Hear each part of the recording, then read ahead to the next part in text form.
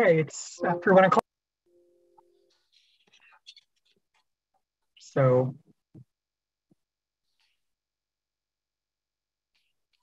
good afternoon and welcome to the New York City Planning Commission review session for Tuesday, January 18th, 2022. The time is 102. Again, our regular agenda, we have a presentation on the borough-based jails. So I believe, Eugenia, you're going to be giving a introduction. Uh, yes, thank you, Ryan, and uh, good afternoon, commissioners, and Happy New Year to you all. Uh, I'm Eugenia Di Girolamo. As you know, I'm the Deputy Director of the Urban Design Division, and uh, I'm just here to give you a brief introduction to the presentation you will be seeing today from the Department of Design and Construction and AECOM. Uh, this is an update for you all on the progress of the Borough-Based Jails program and specifically on the design guidelines that will be included in the RFP for the Brooklyn facility. Uh, DDC is here as part of their commitment to provide updates to the commission and major steps along the process, or as you know, at any point that you feel are necessary. As you know, this is the third facility you will be getting an update for, as you've already seen Manhattan and Queens. Uh, we just wanted to let you know that DCP staff has continued to work closely with DDC and AECOM. uh, to really provide feedback as the RFQs and the RFPs for the facilities are being developed. Uh, it has been a productive partnership, and we've learned so much in the process that have been able to adjust as needed along the way. Um, our goals here has always been to ensure that good design is of significant importance in the development of these facilities, and we believe that it is paramount for the Commission, uh, as for uh, us at DCP staff, to really continue advocating for the best outcome possible in this effort and to stay engaged in every step of the way. Uh, with that, I leave it to DDC and AECOM to present you with the update. And as always, Eric Gregory and I uh, in the Urban Design Division are available if you have uh, any questions. Um, thank you so much. And uh, Rebecca, I leave it to you. Uh, good afternoon. My name is Rebecca Cliff. I'm the Associate Commissioner for the Borough-Based Jails Program for the Department of Design and Construction. Next day, we are here to present the Brooklyn uh, facility update. We will go through program update and the specific to the facility, the Brooklyn facility, the build context, the design guidelines, development process, as well as highlights of the design guidelines. Please. Next slide. As you know, there are four facilities, four boroughs. Next slide. All right, I think all of you are familiar with the Borough-Based Jails program. Um, created to replace the 11 active jails on Rikers Island for its eventual closure with a smaller, safer, fairer system that will have uh, housing for a total of 3,300 people, uh, which requires 3,544 beds. Uh, four, four borough-based sites, one in Manhattan, one in Brooklyn, one Queens, and one in the Bronx. The housing for the new facilities uh, for the people in custody will be according to their borough of residence. And the great thing about these facilities is will be a continued focus on reentry and support services for the people in incarceration. Uh, the enhanced staff support and wellness spaces, including a gym, staff lounge, outdoor space, and quiet areas to help uh, keep the officers um, in, well engaged and uh, of good mental status. Next, please.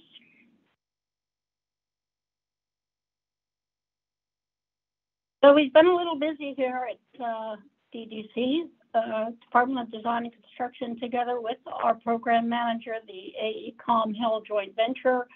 We have uh, to date issued uh, five RFPs excuse me, six RFPs We started the construction of the parking garage in Queens back in uh, March of this last year. That's expected to complete by the end of this uh, calendar year. We've also issued an RFP as well as now a registered contract for each of the sites for the dismantling of the existing buildings and in the Bronx for the preparation of the site. Uh, we have this last December just issued the RFP for Manhattan, and we will be beginning the uh, in-market period with our first CDM coming up in the next few days. Next, please. So the the SOQ uh, statements of qualifications were submitted, and we selected six teams shortlisted. The first team uh, will be Manhattan, which will be Gilbane Building Company and Alberici Corporation as a joint venture. That was released the end of December.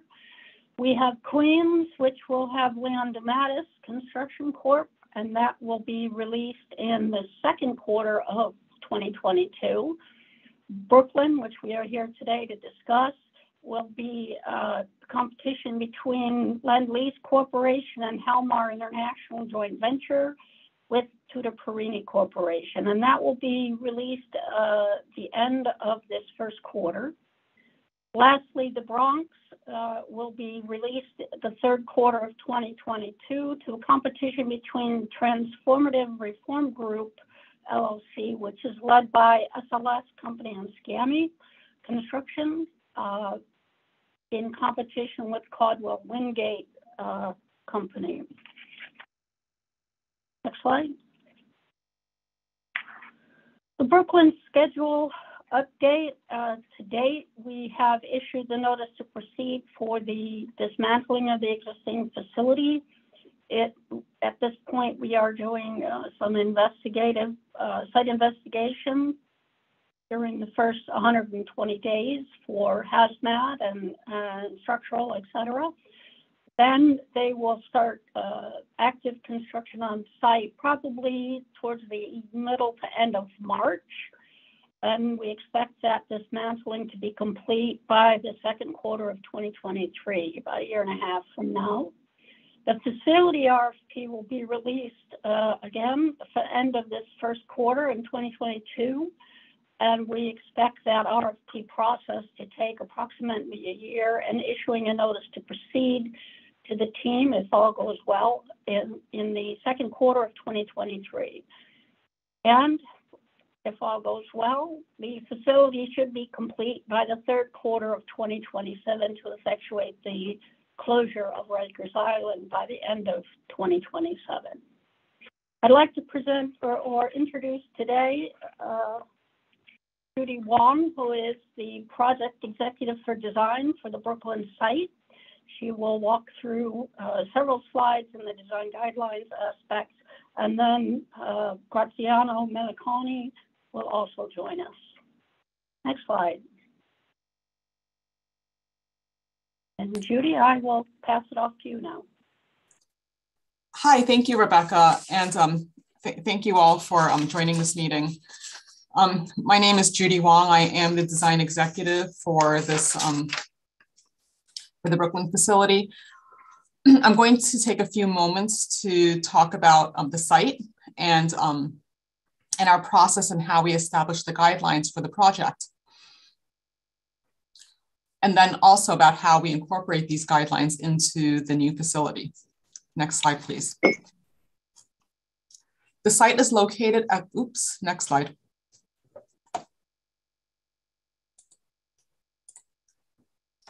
The site is located at the edge of downtown Brooklyn on the south side of the Brooklyn Criminal Court building. To the south and the, and the west of the site is the historic brownstone Brooklyn neighborhoods of Brooklyn Heights, Cobble Hill, and Boerum Hill. Being at the edge of these neighborhoods, the site presents the opportunity to address the different scales and serve as a gateway into downtown Brooklyn. Next slide. Here are two images that show the existing jail that is in the process of getting dismantled. The picture on the left shows the existing jail along Boerum Place, which is a thoroughfare that leads north toward the Brooklyn Bridge. The picture at the right is the existing jail on Atlantic Avenue, the commercial corridor that connects Brooklyn waterfront to the Atlantic Terminal and Barclays Center. Next slide. On the left is a picture of Smith Street, this is a narrow residential street that has several new high-rise residential and mixed-use developments. Smith Street also serves as a bike lane for this area. The image on the right is taken on State Street, which is at the back of the Brooklyn Criminal Court building and also a major vehicular route for local traffic. Next slide. The surrounding neighborhoods have vastly different scales. The first three pictures on the left show buildings typical of the area north of our site in downtown Brooklyn. This area includes civic buildings such as courthouses and agency headquarters, along with many high-rise residential buildings. The image on the right is more typical of Brooklyn Heights, which is at the west of our site. Next slide. Here, you can see additional images of the areas to the south including Atlantic Avenue and Court Street in Cobble Hill. The two images on the lower part of the slide are streets to the east of our site, including the historically registered Dean Street in Boerum Hill. Next slide, please. The city started this work in 2017 to reimagine its jails as civic, civic assets. This work is based on creating smaller, fairer, and safer facilities within the boroughs that can also serve as a catalyst for positive change in the community and the broader justice system. This involved tailoring the programming and the design goals of the jail to promote greater support for the detainees and providing design guidelines for how the facilities can integrate into their respective neighborhoods. I will speak a little bit about how we are going to be doing this in the next few slides or how we have been doing this. Next slide, please. The city worked to have a ULURP approved in 2019 to allow for 886 beds, an FAR of 11.9, and a maximum height of 295 feet within this site.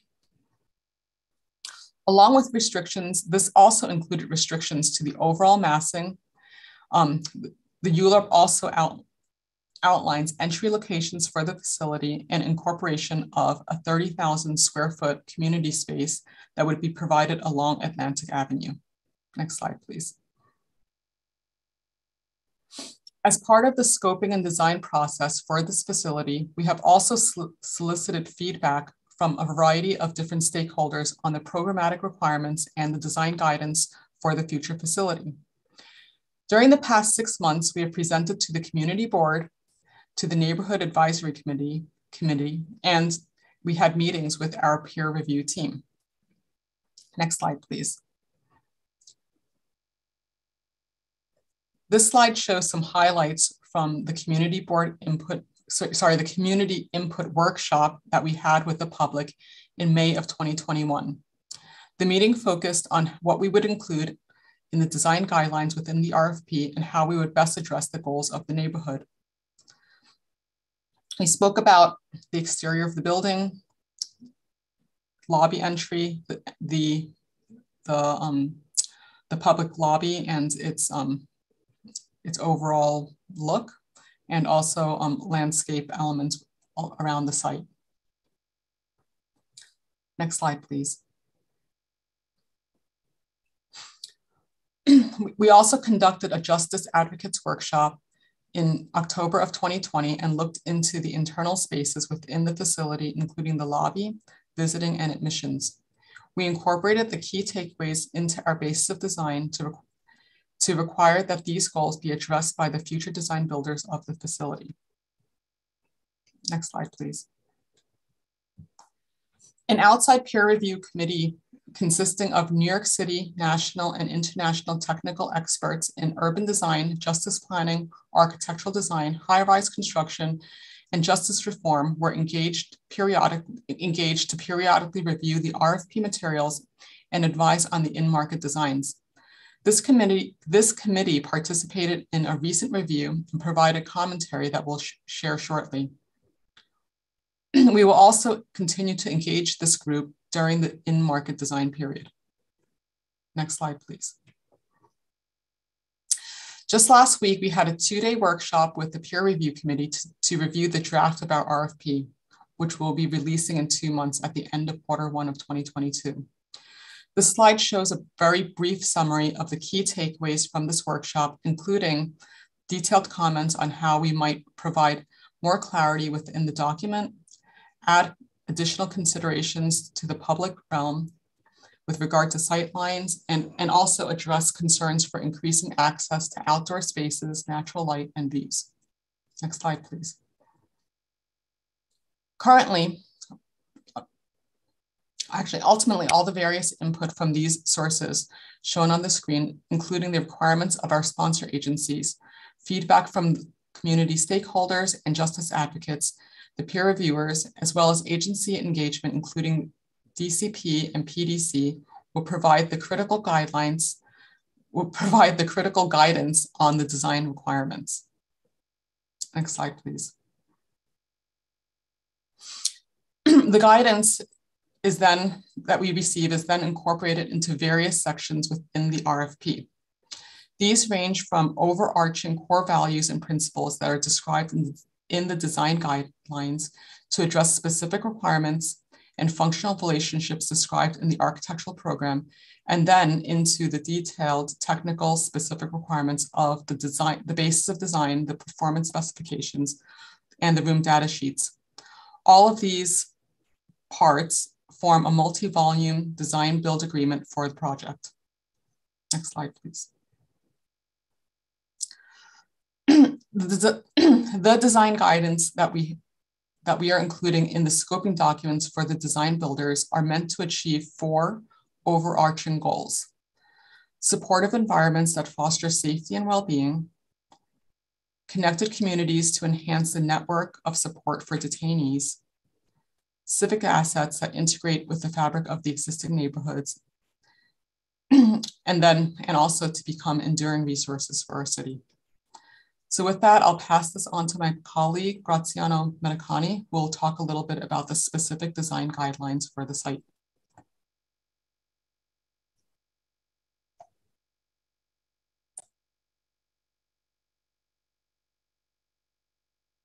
Next slide.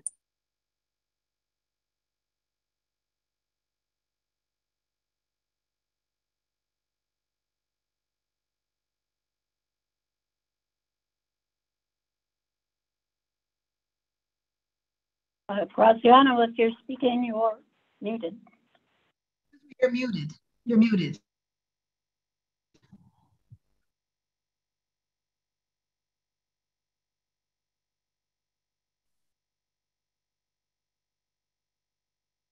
No, we still can't hear you.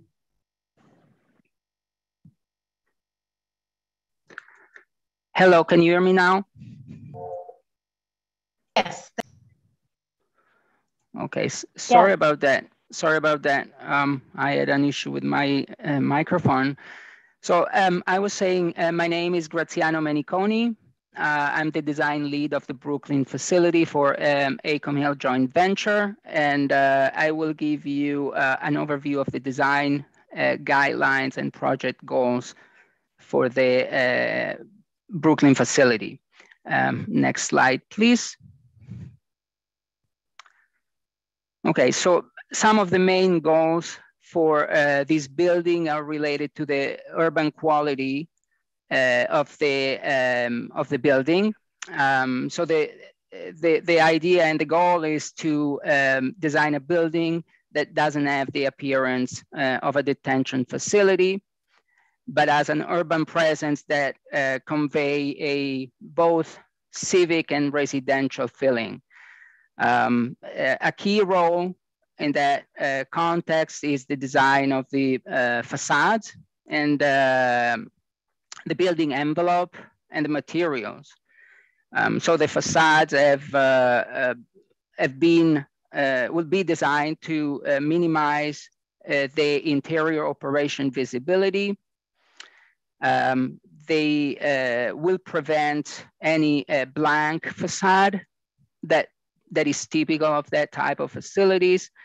But uh, actually on the opposite, we'll, we'll have large and significant uh, transparent surfaces to uh, improve access to daylight and and at the same time give a an appearance of a building that is uh, that is more uh, tradition uh, that is more traditional and not necessarily a uh, functional building as a detention facility. Uh, the materials are uh, as well will be a um, key element to create a non-institutional appearance, um, but a more welcoming environment. And uh, the um, reference uh, for, for both facade and materials are the um, typical civil, um, civic and residential buildings and other buildings in the, uh, in the neighborhood.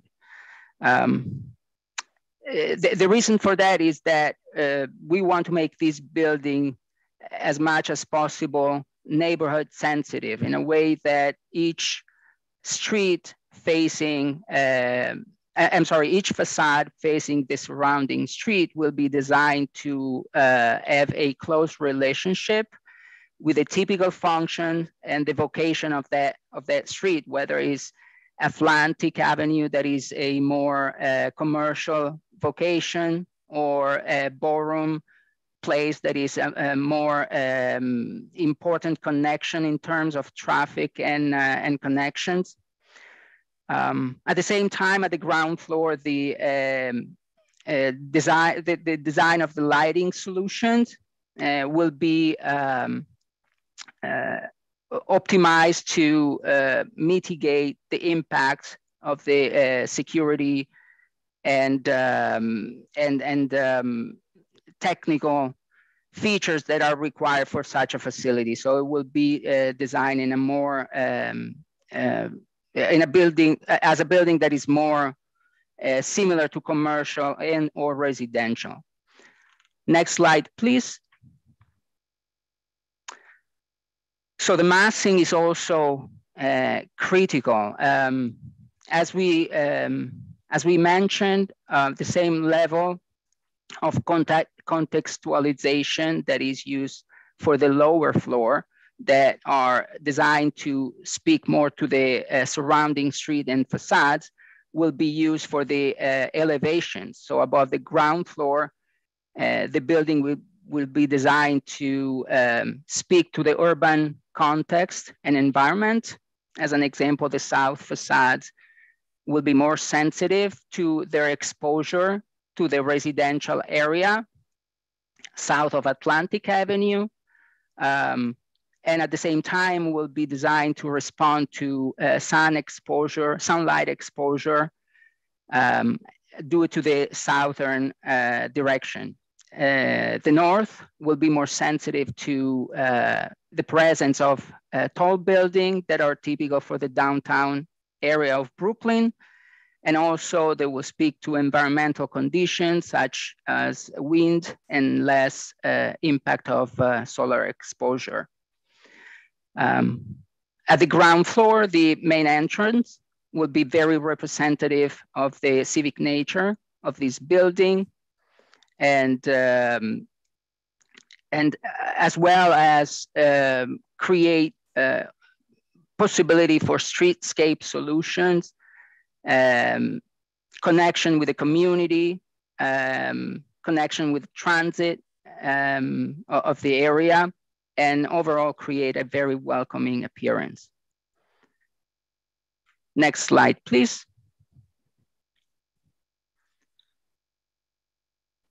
Um, so um, site and access to the building, there are two main uh, topic is the uh, pedestrian access and the vehicular access. The pedestrian access is designed uh, to be um, greatly uh, improved with uh, wayfinding solutions and streetscape elements that would facilitate the circulation around the building and would make that um, view and accessibility um, of the building um, as a, as a, a, welcoming environment. The transparency of the facades at the ground floor will also enhance the uh, presence of the uh, ground floor lobby and the community space that are uh, anticipated to be at the corner of uh, Boerum and Atlantic and along Atlantic Avenue.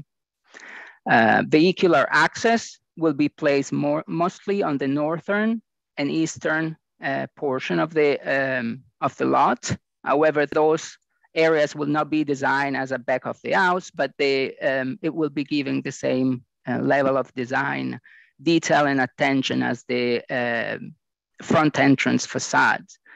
Um, so there will be implemented solutions that minimize the impact of traffic and uh, enhance a safe environment for both pedestrian and vehicular traffic. Um, some typical example of that is uh, creating recessed parking entrance to improve um, access with uh, vehicular traffic into the building, uh, widening of uh, sidewalk at pinch points, uh, presence of bicycle lanes around the uh, lot, and, um, and, and other similar solutions. Um, next slide, please. Um, so um, regarding um, the presence of public and open spaces, there will be uh, a, a, big effort to create an improved uh, pedestrian experience. Um, this will be um, facilitated by the presence of active frontages, mostly along Boerum, uh, Boerum Place, Atlantic Avenue, and wrapping around the corner of uh, Smith Street. Uh, those facades we, will have a sufficient degree of permeability and accessibility as many of those areas will be uh, open and accessible to the public. And uh, furthermore, there will be a creation of um, open spaces at the visitor entry to uh, create relief for pedestrian traffic and pedestrian circulation. Um, also, the landscape solutions will be important uh, to uh, improve the uh, pedestrian experience. Um, they will incorporate safety and blast protection solution uh, that are in line with the downtown Brooklyn partnership guidelines. Um, so they will be designed in a way that is familiar to the surrounding areas. Uh, and at the same time, they will minimize the impact of security features uh, along the, um, along the uh, perimeter of the building. Um, and uh, with that, I believe that uh, I will leave it to Rebecca to present the next steps of the project. Good afternoon. That uh, completes our presentation for today. Uh, you're probably wondering what's next.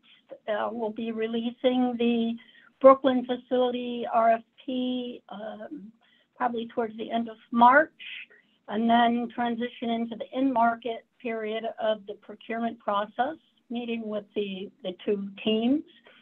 The we will then advance through the in-market period for the Manhattan facility, which began uh, in the end of December, and the development of RFP documents for Queens and Bronx facilities.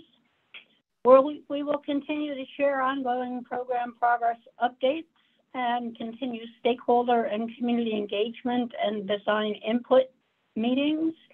And our next presentation will be in the, for, of the Bronx site um, the Bronx facility in the third quarter of this year.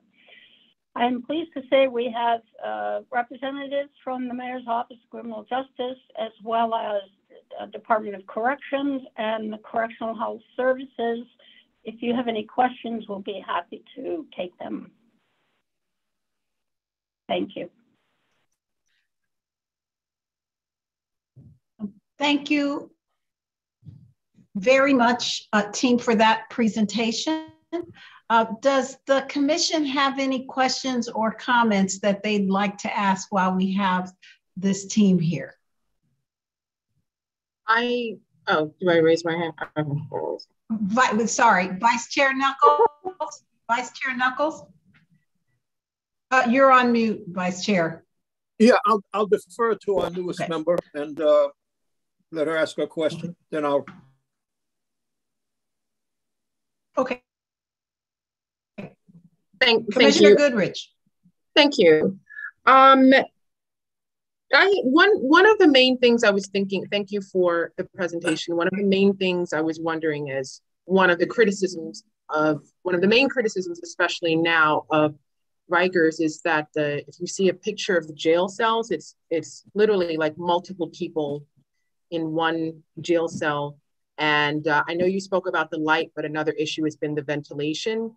And I'm wondering, um, you know, obviously there's been another conversation about the purpose of jails, period. But aside from that, I'm wondering how the design would incorporate really ameliorating the issue of, of um, the structure uh, of it being not, first of all, not built for multiple people to be in one cell, and also when they are, you know, and they shouldn't be, but regardless of how many people are in one cell, the the next sub question is you know, can, can you talk a bit more about the ventilation?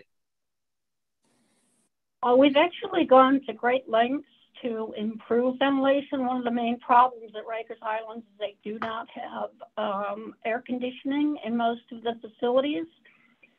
They have uh, windows that do not open. In this facility, all cells, housing units will have operable window vents so that the the person in custody can control the ventilation in and out of their window. We will also be, uh, our engineering staff has, has set up a system that is, serves, uh, they're smaller units, they serve uh, fewer floors so that if one part of the building goes out, the whole building doesn't go out, which has been a, a problem when you have one system serving the entire building. So we're trying to build in safeguards so that those kinds of uh, ventilation issues, cooling issues, heating issues are, at a minimum with the new building. On each each cell is only uh, only has one person. Um, I can't address why DOC might have two or three in in a Rikers right now. Twenty, yeah, it's twenty. The the, the um, other, you know, I know that the the way that the the the structure and the way that uh, you know the jails are built are very different from that's a separate question of how they're run so I, am aware of that but my second question is there's been um, you know certainly a lot of conversations about um, you know obviously the humanity in the architecture and the structure and one of them has been and this i think was from this was from the American Institute of Architects, they had released a statement about just a racial justice component. I saw that there is a peer review faculty, but um, I guess what I'm wondering is, is there a specific, you know, is there, there's one thing to have like a diverse, you know, diverse set, set of people who are um, in the planning and I think what I'm wondering is apart from that, is there a specific equity plan or is there a specific racial justice component where this is specifically being talked about?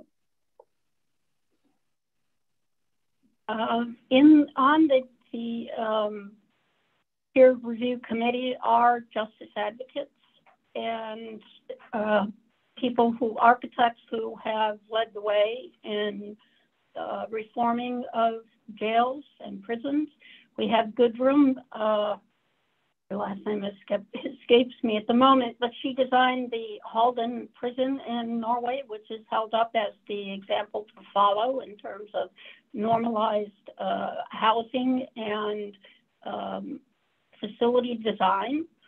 Uh, we have a high-rise uh, specialists. We have um, architects from across the, the spectrum um, assisting, as well as during the outreach, we are meeting with justice advocates and people formerly incarcerated who are helping us to understand how to make things a little bit easier to um, to uh, live with. Um, let me let me just rephrase the question. Um, what I'm asking is, is there like, for example, let's say uh, um, a company has a diverse set of directors um, and board members, um, and then separate and apart from that, another group or maybe the same group creates an actual equity plan um, to enact the, uh, you know, whatever it is, uh, a policy. I'm wondering if there is, because I think, and I'm asking this because that's been the specific um, criticism with jails in general in New York City and particularly with Rikers, that there's no specific equity minded or, or a specific, um, you know, addressing specifically um, racial justice component. And so that's what, and, and, and, you know, it also has been said in response, well, you know, there's a diverse set of people working on it. And then in the counter responses, uh, that's not the same as a specific equity plan. So that's what I'm wondering, because that is one of the criticisms. So I think it would be good to speak to that. Uh, we have uh, representatives from uh, MOCJ and DOC. I'm not sure if they want to add anything, or if not, we could get back to you with our ideas in that area. Yeah, that I'm would be prepared to, to answer it right now. Okay, got it. Thank you. I appreciate um your response. Thank you. Sorry, this um, is Sasha Ginsburg from the Department of Correction. Can you hear me? Commissioner, I mean, uh, Vice Chair Knuckles. Yes, thank oh, you. Sure, please, please. Uh, Go ahead. A couple of questions. Do we do we know how many people are currently housed in the uh, Brooklyn uh, facility, the existing Brooklyn facility? Um, there is no one housed there. Right. I'm sorry? There's no one housed in the Brooklyn facility. Oh, okay. Sorry, can you hear me? Yes, I may I be can. having. Okay. Yes. So, sorry, my name is Sasha Ginsburg. Go ahead. Yep, my name is Sasha Ginsburg, and I'm the executive director of the borough-based jail system at DOC. Um, the Brooklyn Detention Center is currently empty. There is no one that spends an overnight stay there. It's only used right now for court production purposes. So we are, um, you know, we are still using specific aspects of the facility, but there has been no one housed there now for a number of years. Okay, thank you. Um, secondly, I'm just curious as to, uh, in, in terms of the uh, the uh, RFP for the design of the structure, uh, will you limit will you limit the design of each facility to uh, one firm, or is it possible that one firm could respond to uh, more than one RFP? Well, we've already uh, selected the shortlist for each facility. Um, if perhaps we could go back to slide um, five or six. No, I understand the the uh, the teams, but the RFP now. Well, the RFP now is for uh, the design, is it not? It's both design and construction. The design oh, build okay. process where the, the architect and the builder are on the same team and they work together to okay, uh, so construct all right. the building. All right, okay. Yes, I'm I'm okay. I'm I'm now clearer with that. Okay. All right, thank you. Thank you. Could, could I just follow up on um, the vice chair's question? Because I think that the, the confusion a bit is an RFP where you've already selected the, you know, designated, uh, you know, firm that's going to do the work. And so if you could clarify for us actually what will occur during the RFP, because we typically think of it as a competition between firms to see who gets it. Now that we yeah. know who's doing it in two of the cases, what is the RFP actually going to accomplish or do? Thank you, Chair. Well, during the the um, the process when we have a singular team, they are shortlisted. They are not selected, so nothing is guaranteed to them. They have to meet our requirements. They have to meet the be- the basis of design. They have to provide a, a um, guaranteed maximum price as well as provide a, um, a fee amount um, and a proposal at the end of the RFP period. We then go through a very rigorous process of reviewing that and making sure that it does address the issues and concerns in the uh, basis of design and in the RFP process. It's graded according to the design, uh, according to the team composition, their experience, and uh, several other um, criteria. But the design of the building itself is about 50% of the process of the evaluation criteria. So they have to step up and they have to provide us with the kind of building that we're looking for at the kind of price we're, we're looking for. But this is not a, a low bid. This is a best value contract. How, so is it theoretically possible that they won't achieve what you're asking for here? Is that possible? And then what would happen? Of course, they they they may not um, they may not meet the terms. I mean, the, the RFP is about 5,000 pages. So they have a lot of things that they need to address. And we have a whole team of people who are going to do nothing more than, than make sure that they do that. Uh, everything from how many outlets they have in the, in the housing units to how much light is in the cell, how large the windows are, all that criteria and that and we have a set budget for them to work on. So it um, we want the best package, and if the team is not producing and, and not wanting to meet with us and create the kind of design we're looking for, then most certainly there are other options that they would not receive it.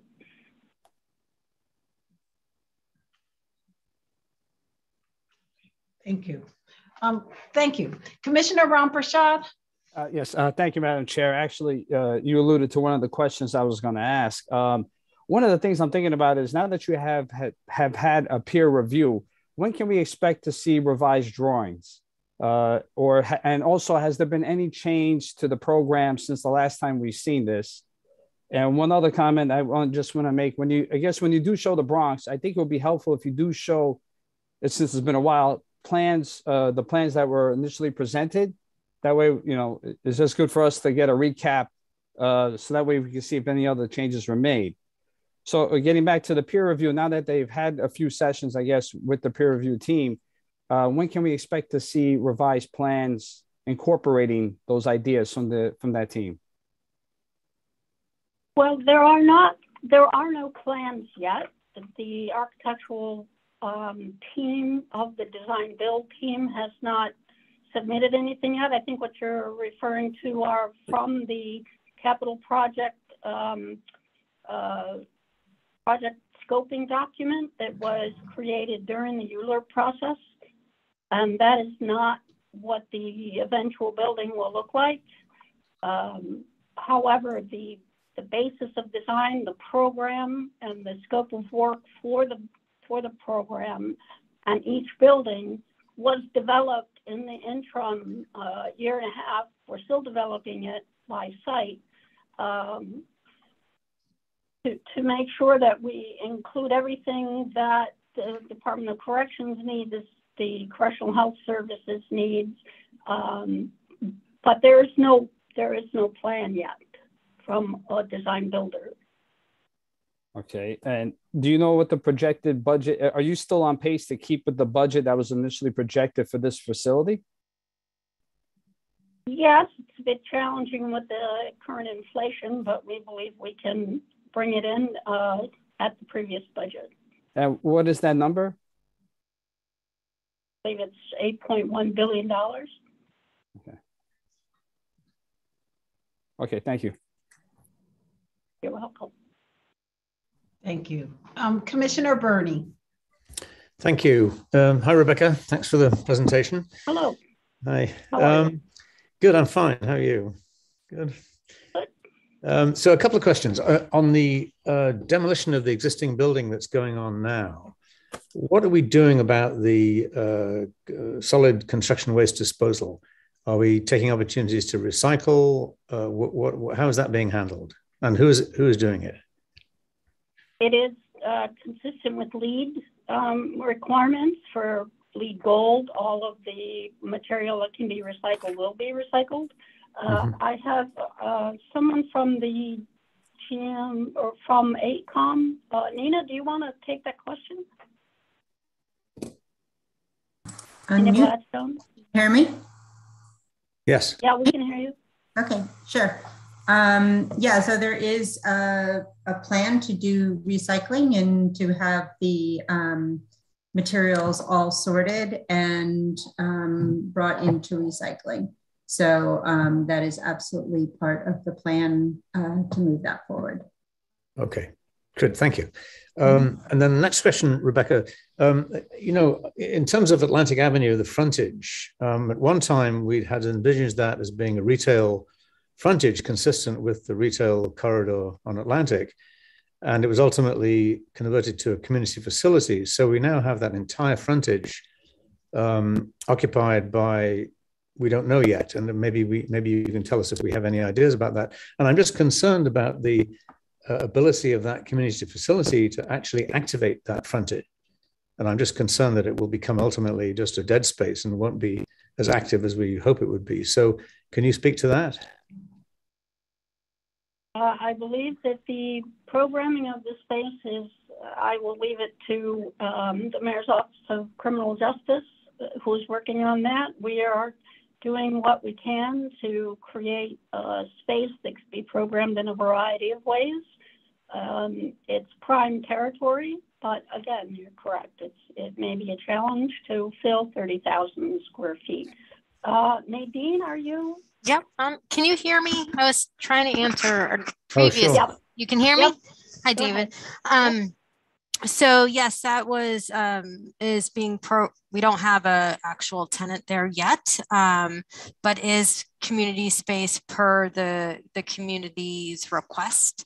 Um, and I think, you know, we would be looking for, you know, something that would activate the ground floor. Um, I know of a building not too far from this site that has a Brooklyn Ballet that is considered a community space. So it could be, you know, I think a community space we is is you know can activate the street. I hear what you're saying, absolutely. And you know, mm-hmm. as soon as we have an idea of who that tenant may be, you know, we could we could report out on that. Yeah. I mean, do, do you think it might make sense to subdivide the space into smaller portions to have more than one occupant? I, I believe that's a possibility. I, I don't. I'm uh-huh. not sure. Rebecca could. I mean, I don't know that anything is set in stone in regards to that. Is uh, no, it, the only the only criteria we are imposing on it is that it's a two level space, but that doesn't mean you couldn't have uh, retail on the first floor and offices on the second floor or something, or mm-hmm. Two story, whatever. Um, we're trying to create the maximum flexibility with the mm-hmm. uh, utilities and um, lighting, facade, etc. Yeah, you know, it might be possible to reinstate the transparency requirements that were unfortunately eliminated uh, into the lease with the uh, community group. So at least we can ensure there's some transparency along that facade. Noted. Uh, and I, so, thank you. And I had just one third question.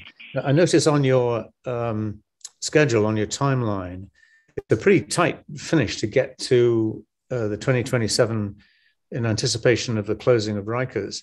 And I'm just aware of the fact that, as you well know, Rebecca, you know, when you finish a building, there's quite a lot of time involved in operation and ramp up and commissioning and staffing and blah blah blah. So it could be even when you finish in 2027, it won't be an occupied facility. So I'm wondering if that bumps up against the requirement to close Rikers, what's going to happen? Well, we have uh, programmed into the schedule a six-month shakeout that starts prior to August of 2027 so that DOC will be coming in, learning the systems, as well as shaking out the computer systems, security systems, commissioning, and all those kinds of things. Uh, what happens if we go up against the um, close Rikers date? Um, I can't answer that at the moment because I think we'll be done before that. Okay. Right, from your lips and all that, you know. Okay. all right, thank like you. That, yeah. Thank you, Commissioner Burney. Um, Vice Chair Knuckles, you have another question? I just want to make sure I understand the process because uh, except for Queens, you have teams uh, that will uh, respond in competition to one another uh, vis-a-vis the RFP. Um, but in Queens, you've apparently uh, selected DeMatteis. So what, what, what is the RFP uh, to ascertain in that case, in this case? Well, this goes again to Chair Laremont's question regarding both Manhattan and Queens have a singular team in competition, and the competition is really against themselves to make sure that they incorporate the items in the all, all of the different program items in the RFP. There are specific programming requirements, size requirements, materials requirements, um, size, uh, all of the different constraints uh, of design and an operation of this type. So they are required to meet all of those criteria, uh, as well as provide us with a guaranteed maximum price and uh, some other information that would um, basically confirm that they should move forward and that we should award a contract to them. But it's not, not a done deal. They have a lot of work to do before we get to that point. Can so I just, we can get you more if, information sure, on, on how that process is going to work. So if, if for whatever reason, if, if for whatever reason DeMatteis doesn't meet the, the mark, you'll have to do another RFP. Yeah. yeah. You know, I think what yes. might be a little confusing here is the use of this term RFP. I think in the real estate world, you might be you might hear this being called a BFO, a best and final offer. So you've got your teams lined up, and you're not closing the deal until you get a right. best and final offer from either one or other, or more of the teams. So that's if you think about it that way, that's more, I think, what you're doing, Rebecca. No. Well, they, all they've done to date is provide their qualifications. They have not uh, presented a plan or a management plan of how they're going to do this. They've not presented any sort of uh, layout plans of how they're going to approach it. Uh, as you know, correctional design and programming is extremely difficult, very complicated, and the team needs to be able to show that they're capable of doing that through presenting to us uh, information that would would support that that idea. So the process, at least as it relates to Queens, was such that you uh, you were uh, you didn't narrow it to two entities, but only one. Is that what happened here?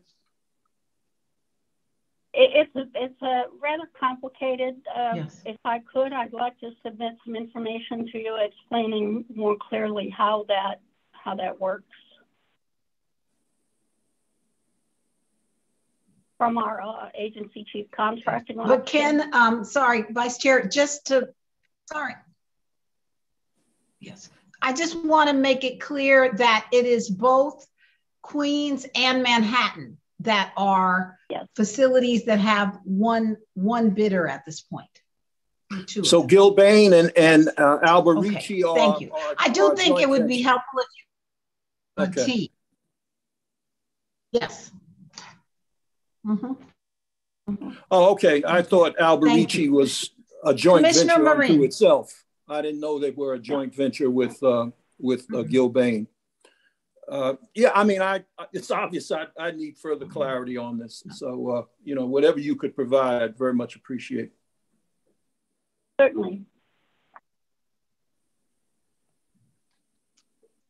Um, Commissioner Marín. Thank you, thank you, Madam Chair. So Rebecca, I, I, mean, I had a bunch of questions, most of which have been asked and answered, but the one that still kind of sticks out at me is the one of cost. And, you know, I heard the word inflation. I also heard the word, you know, um, depending on what the price is. So let's just say for a minute that it doesn't come in at the price that we think it should, or they, or there has to be some cuts because of inflation. Where would where would you see cuts? Um, I know that um, there has been a question um, by Commissioner Goodridge about the size of windows, ventilation, the the more um, essential things to a jail that definitely should not be cut. So at the end of the day, if something has to be cut, what do you think would not be um, completed or, or included in the in the jail's proposal if if there's not enough money to complete something, a task? Uh, well, I, I think to be fair, we would have to go back to the Department of Corrections and the of Criminal Justice and work together to find out if there's some way to shave program space. Um, there's parking spaces in each of the buildings that might be sacrificed. Um, there's not a lot of uh, extras here. This is pretty basic um, instruction and the interiors, well, the intent is to be more residential like I would I would probably put up a vision of like a college dorm kind of thing. It's not luxurious. It's it's a, just a nicer, uh, more normative places for people to be incarcerated. So it's it's a tricky question. We have put uh, item uh, uh allowances in the contracts so to address escalation in material costs.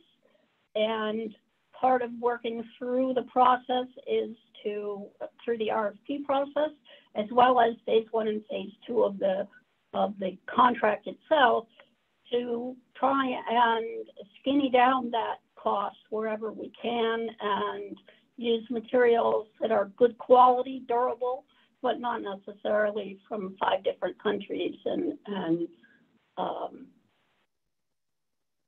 a little too absorb, exorbitant for our uses. A lot of thought has gone into it. We spent about two and a half years programming it. Uh, we've gone through at least two cost cutting already to try and reduce program space. Uh, we are successful by about 15,000 square feet. So it, it's a continuous process. I don't want to build more than I have to, and a design build team does not want to build more than they have to because that's money out of their pocket. Understood. I think I think it's just to better it's to better understand if, if something does get cut, what can get cut. Because at the end of the day, if we're talking about a facility that's being budgeted today and being built in a couple of years and there's a certain budget, we all know that inflation and the cost of construction continues to rise and it's going to affect the budget in the end. Well, we continue to review the budget and the budget is actually set up to the midpoint of construction. So we've projected out the escalation cost to that midpoint when probably most materials would have been purchased. So we have a pretty good, there's some method to the madness, and we have a pretty good uh, sense of what it's going to cost. Um, and we're working to keep it under that. Thank you. I appreciate the responses. Thank you.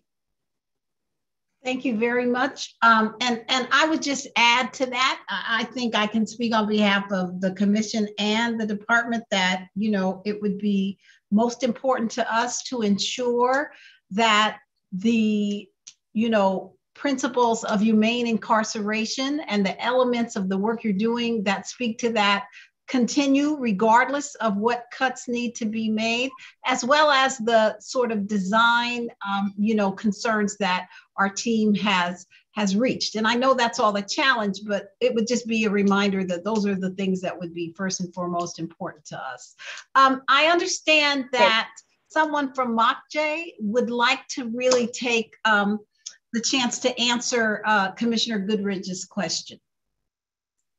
Sasha, uh, is that you? No, it's uh, Nadine uh, with MOCJ, but Sasha can. Oh, hi. Uh, okay, thank you. Uh, yes, yeah. And Sasha's with the Department of um, Corrections, and she can absolutely uh, uh, uh, answer the question as well, um, and maybe in addition. Um, so I just wanted to make note that MOCJ um, had created a justice implementation task force over the last several years Um, and that task force uh, was made up of people that were formerly incarcerated um, and justice advocates. And in the creation of the program and in the development of these uh, facilities, they have absolutely been at the forefront of um, all of the sessions. Um, and specifically, uh, we also uh, reached out to uh, organizations working with women um, on Rikers um, and other uh, groups that are working with people directly impacted um, by the criminal justice system. And so that has been going on um, since 2018, I believe. And Sasha was formerly with MOCJ. So maybe, Sasha, this might be a good time for you to um, chime in with uh, your experience on um, the community engagement process. Yeah, absolutely. So, um, yes, I was at MOCJ as we went through, as we initiated this process and went through the ULURP process, and then I moved over to DOC at the beginning of 2020. Um, and so, just to elaborate a little bit more on what Nadine um, already said, we have had a significant amount of engagement with people who have been directly impacted by the criminal justice system and specifically Rikers Island um, itself on the Justice Implementation Task Force, there are a number of people who, you know, have direct experience either um, from themselves or working within the justice system. And also, more recently, we convened a number of workshops with people who are um, justice involved, and we tried to seek pretty concrete and direct feedback onto some of the design elements in uh, that relate to the interior of the facilities. So about you know the finishings, the furniture, you know, some of the layout questions that we had.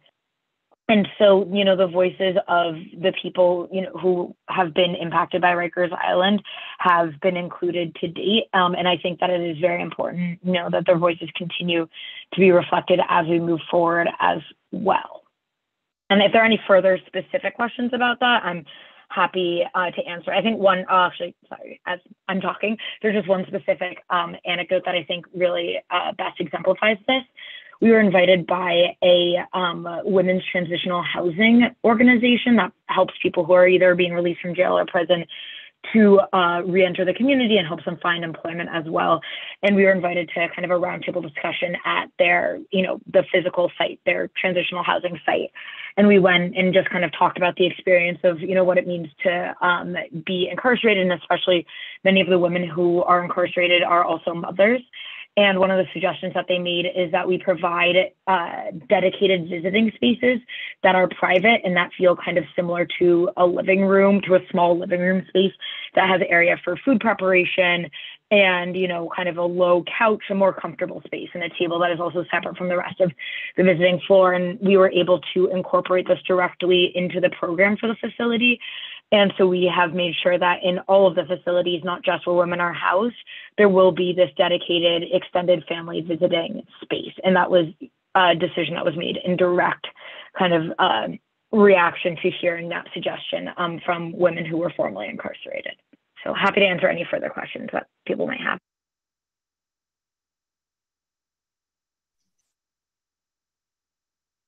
Thank you very much. Um, are there any additional questions from the commission? Okay, well then I thank you all very much for, for coming and sharing with us. Uh, we really appreciate being kept up to date on what's uh, occurring and we look forward to getting the additional information that you referenced. So thanks again. Great. Thank you very much and we'll see you uh, in about six or eight months. Okay. Thank you. Happy New Year. Happy New Year. Thank you. Um, so the first item on our agenda is a certification of a zoning map and zoning text amendment in Queens Community District 8. Our presenter is Scott Solomon. Uh, good afternoon, commissioners. If you can move on to the next slide. Thank you. So this is a private application by VP Capital Holdings, LLC, proposing a zoning map amendment and corresponding text amendment to facilitate development of an eight-story mixed-use building containing 119 dwelling units, 36 permanently affordable, at 7739 Vleigh Place in the Kew Garden Hills neighborhood of Queens Community District 8. Uh, next slide. The project area is located between the two non-conterminous project areas that comprise the Kew Garden Hills rezoning that was approved in 2019. This community board sponsored application rezoned nearly 42 acres from R2 to R2X, primarily facilitating enlargements of existing single family detached homes. Uh, project area is located a quarter mile northeast of the Kew Gardens interchange, a major junction that provides access to major roads and highways including Grand Central Parkway, the Van Wyck Expressway, Jackie Robinson Parkway, Queens Boulevard, and Union Turnpike. It also divides the communities of Kew Garden Hills, Kew Gardens to the southwest, Briarwood to the southeast, and Forest Hills to the northwest. Next slide.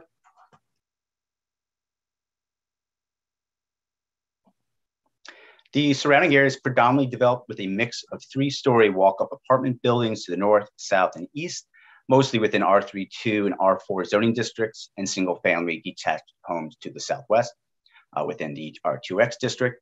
The project area is within the R32 district and a C12 commercial overlay that extends to the property immediately to the west. Main Street, uh, located one block east of the project area, serves as the area's primary north-south thoroughfare, and beginning two blocks to the north and south serves as a local shopping corridor where additional C12 overlays are mapped. Uh, Union Turnpike is three blocks to the south and contains additional commercial uses. Community facility uses in the surrounding area include uh, religious and public schools, medical offices, as well as numerous houses of worship. Across the street from the project area is a child care and pre-K facility. Uh, immediately south of the project area is a public park, which includes fields and a children's playground. And the project area is served by several bus lines, including local and select bus service routes that run along Main Street and Union Turnpike, and the Kew Gardens uh, subway station with access to the E and F lines. It's about a 20 minute walk away to the southwest. Next slide. Uh, the project area consists of approximately 40,000 square feet across block 6630, lot one, and a portion of lot 15. Uh, project area is bounded by Vleigh Place to the west, 79 foot wide street, 77th Road to the north, and 78th Avenue to the south. Development site is located in lot one, corner lot, consisting of approximately 35,000 square feet. Uh, in 2016, a fire destroyed a one story, uh, fully tenanted commercial building that included 13 local retail businesses. Uh, the site remains vacant, which has left void of any commercial resources for the immediate area. Uh, and the remaining lot in the project area 15 is a 50,000 square foot interior lot that includes a three story multifamily apartment building uh, however, only a 5,000 square foot triangular portion that contains accessory parking garages is within the rezoning area. Next slide. The area above, uh, looking northeast into the project area, the primary built context are these three-story multifamily buildings to northeast and south. Uh, immediately across from the development site on Vleigh Place is the pre-K facility discussed earlier, and a block east is Main Street with access to bus transit. Uh, in addition to the wider Vleigh Place, uh, the confluence of the several streets here creates a, a relatively wide intersection, uh, portions over 160 feet wide, uh, which then leads to the immediate south, immediate access to the open space of the public playground to the south. Uh, next slide. So here are uh, photos of the existing conditions. photo one on the left is a view of the development site facing northeast from the intersection of 78th Avenue and Vleigh Place. Uh, photo two, looking uh, uh, onto Vleigh Place, developments on the right, the daycare facility on the left. Next slide.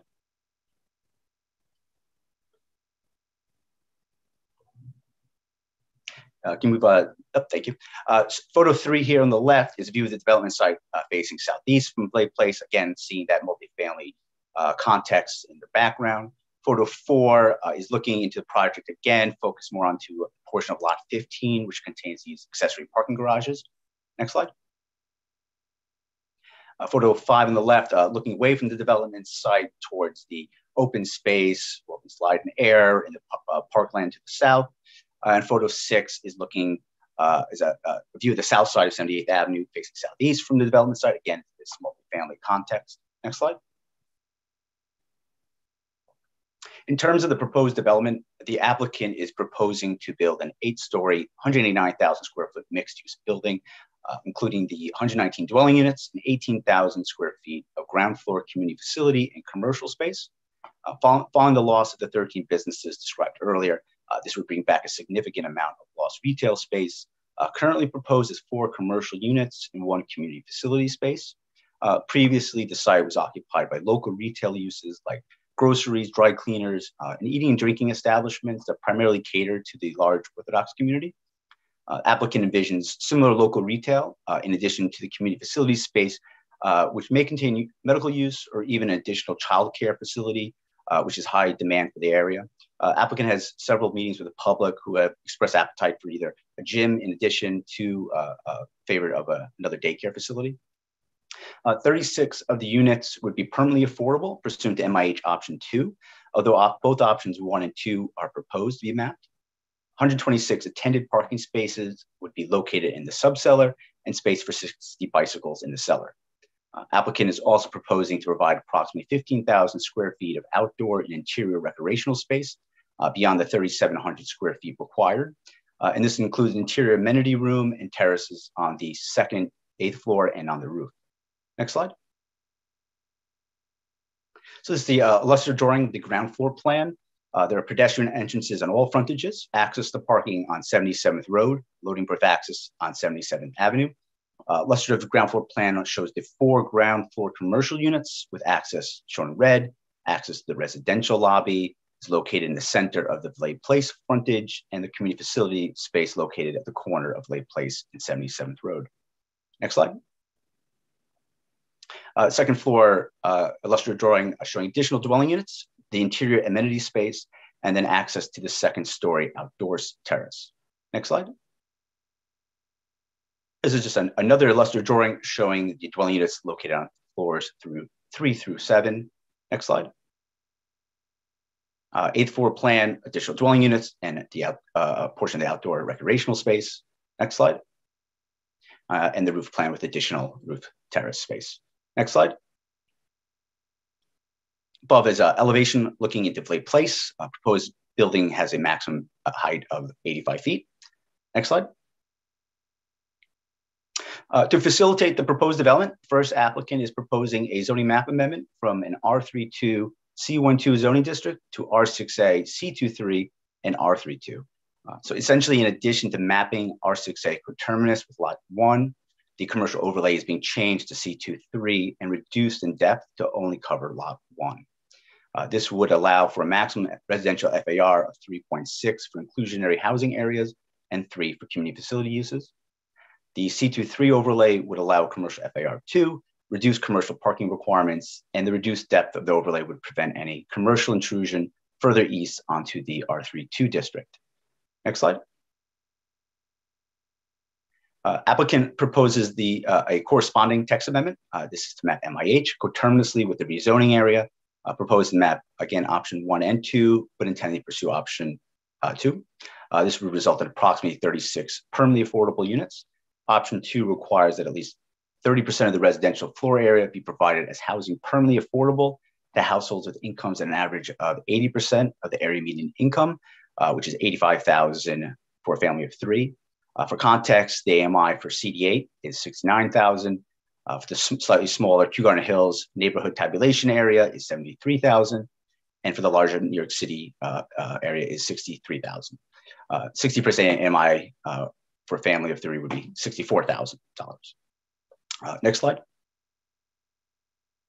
In conclusion, according to the applicant, the land use rationale relates to bringing much needed housing production including affordable units, to an underlies site that fronts a wide street and is proximate to bus transit. And the commercial overlay would permit a wider range of local, commercial, and community facility uses that would serve the surrounding area, uh, reduce owners' parking requirements, and reduce the depth of the overlay, uh, so not to intrude into the uh, mid-block residential character.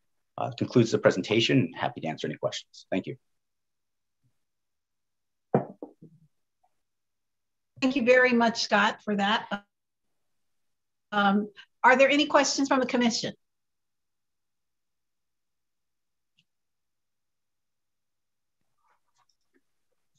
Commissioner Rampershad.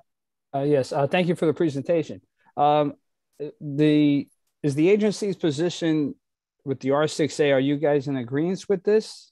Because I, I know the area very well. I know this, uh, as you showed them from the map. There's a lot of two and three story, one and two family dwellings.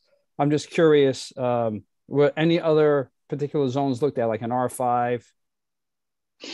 Uh, well, so uh, the agency uh, provided guidance that the R6A is consistent with other projects that have provided density on a wide street uh, and proximity to bus transit. So uh, given those variables, we thought that is consistent with other projects. Okay. Thank you. Thank you. Any other questions from the commission? Okay. Seeing none, I will say this application is certified. Thank you. Great, thank you. All right. Um, the second item on our agenda is a certification of a zoning map amendment in Brooklyn Community District 6. Our presenter is Jonah Rogoff.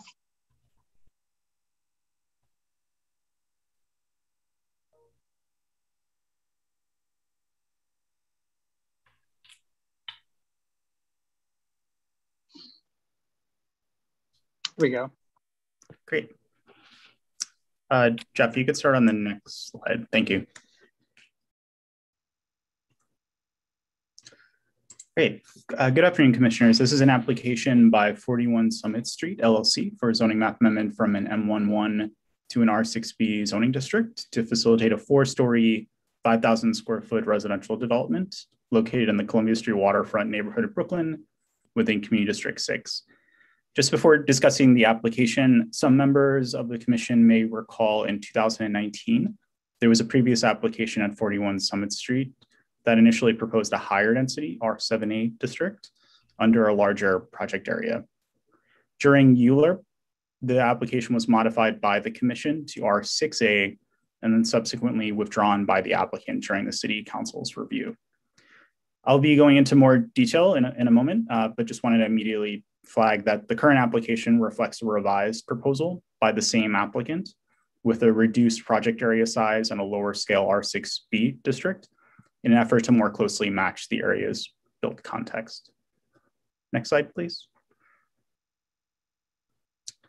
So zooming into the local context with the bird's eye view above, the surrounding area contains a mix of industrial, commercial, and residential uses, the area to the south and west of the project area, shown in a dashed red line, generally consist of one and two story warehouse buildings with light industrial construction, storage, and distribution based uses. Residential uses are concentrated mainly to the east of the project area and generally characterized by two to five story one and two family homes and multifamily walk up buildings. Columbia Street, running north south, serves as a mixed use local retail corridor with ground floor commercial and residential above. And then to the west of Van Brunt Street is the Red Hook Container Terminal, an intermodal freight terminal operated by the Port Authority of New York and New Jersey. With respect to public transit access, the F and G subway lines are located approximately a half a mile from the project area, while the B61 bus line providing access to downtown Brooklyn, Red Hook, and Park Slope stops directly on Columbia Street, just one block southeast of the project area. In addition, I would note a few Citi Bike docking, stations are located nearby, along with the entrance to the Hugh L. Carey or Brooklyn Battery Tunnel and BQE. Next slide, please.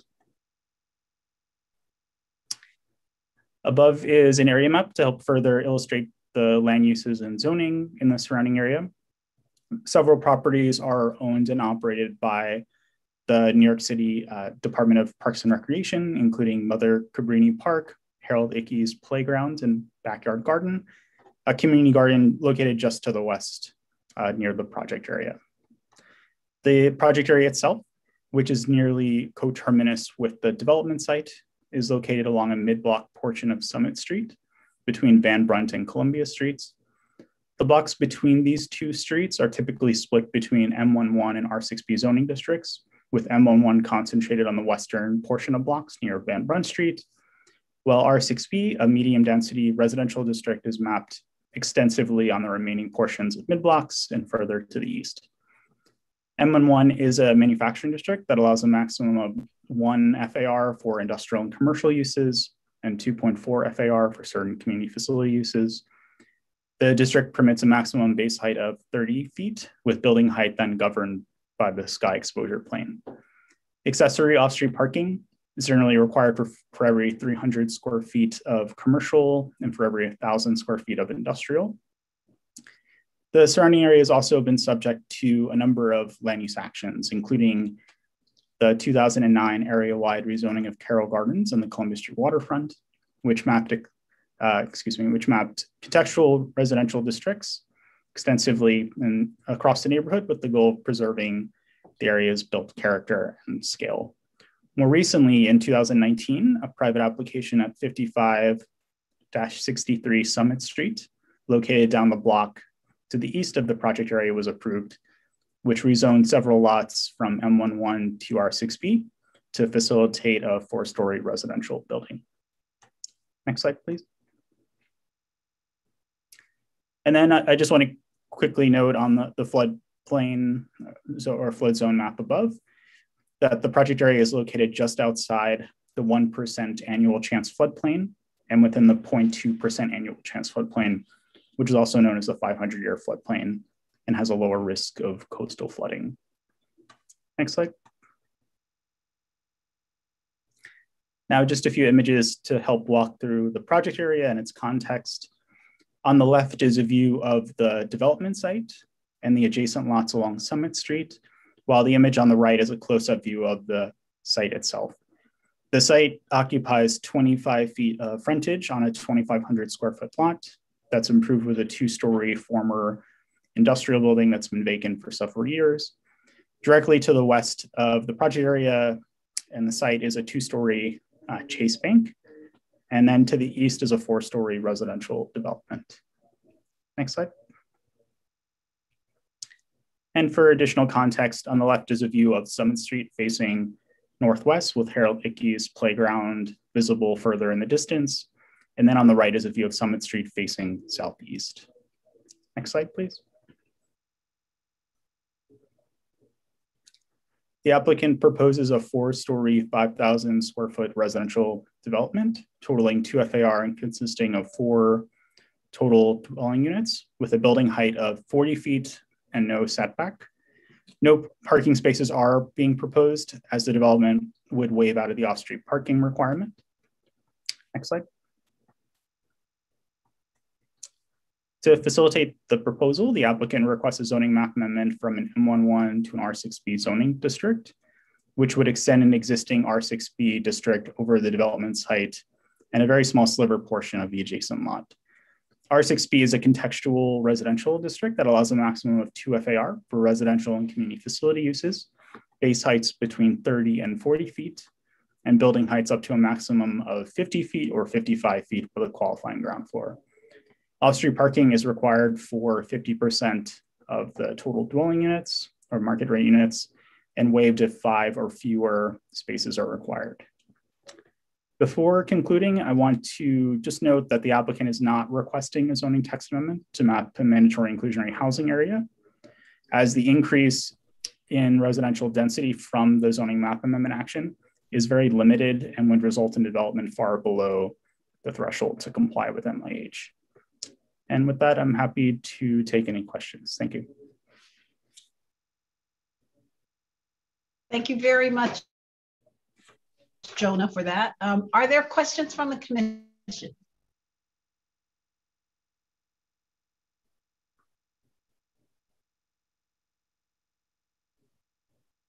Seeing none, Jonah, I will say this uh, certified. Thank you.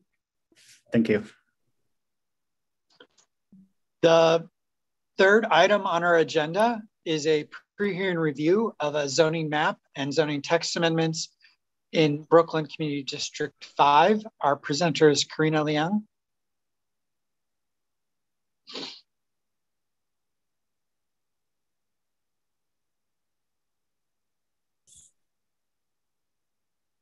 Karina? There we go.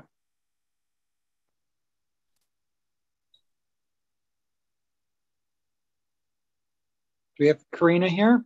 A private application for. Oh, there we go. Yeah, can you can you hear me? You're a little you're a little faint. Um, this is a private. There. How about that? Um, okay, so this is a private application for a rezoning with MIH to facilitate the development of a six-story mixed-use building. Next slide.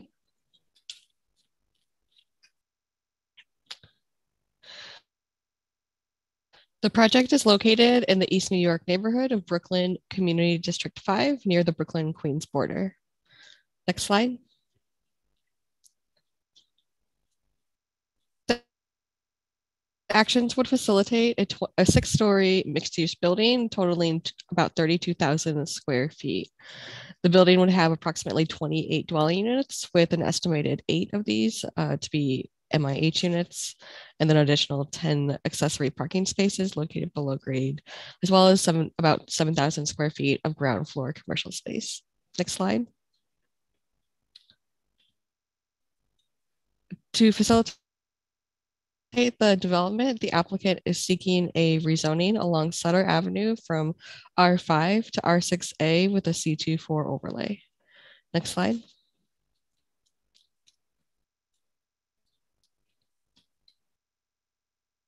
The applicant's also proposing to map both options one and two in the MIH area. Next slide.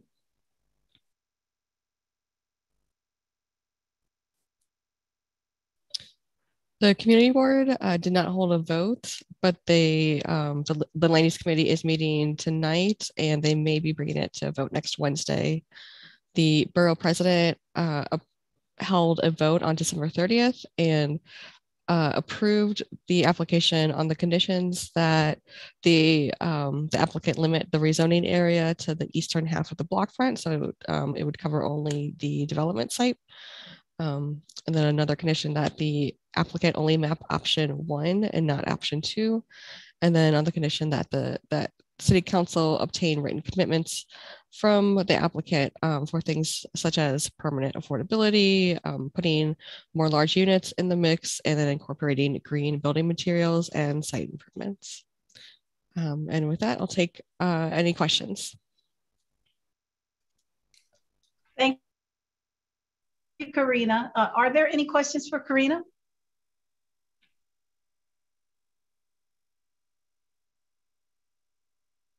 Commissioner Levin.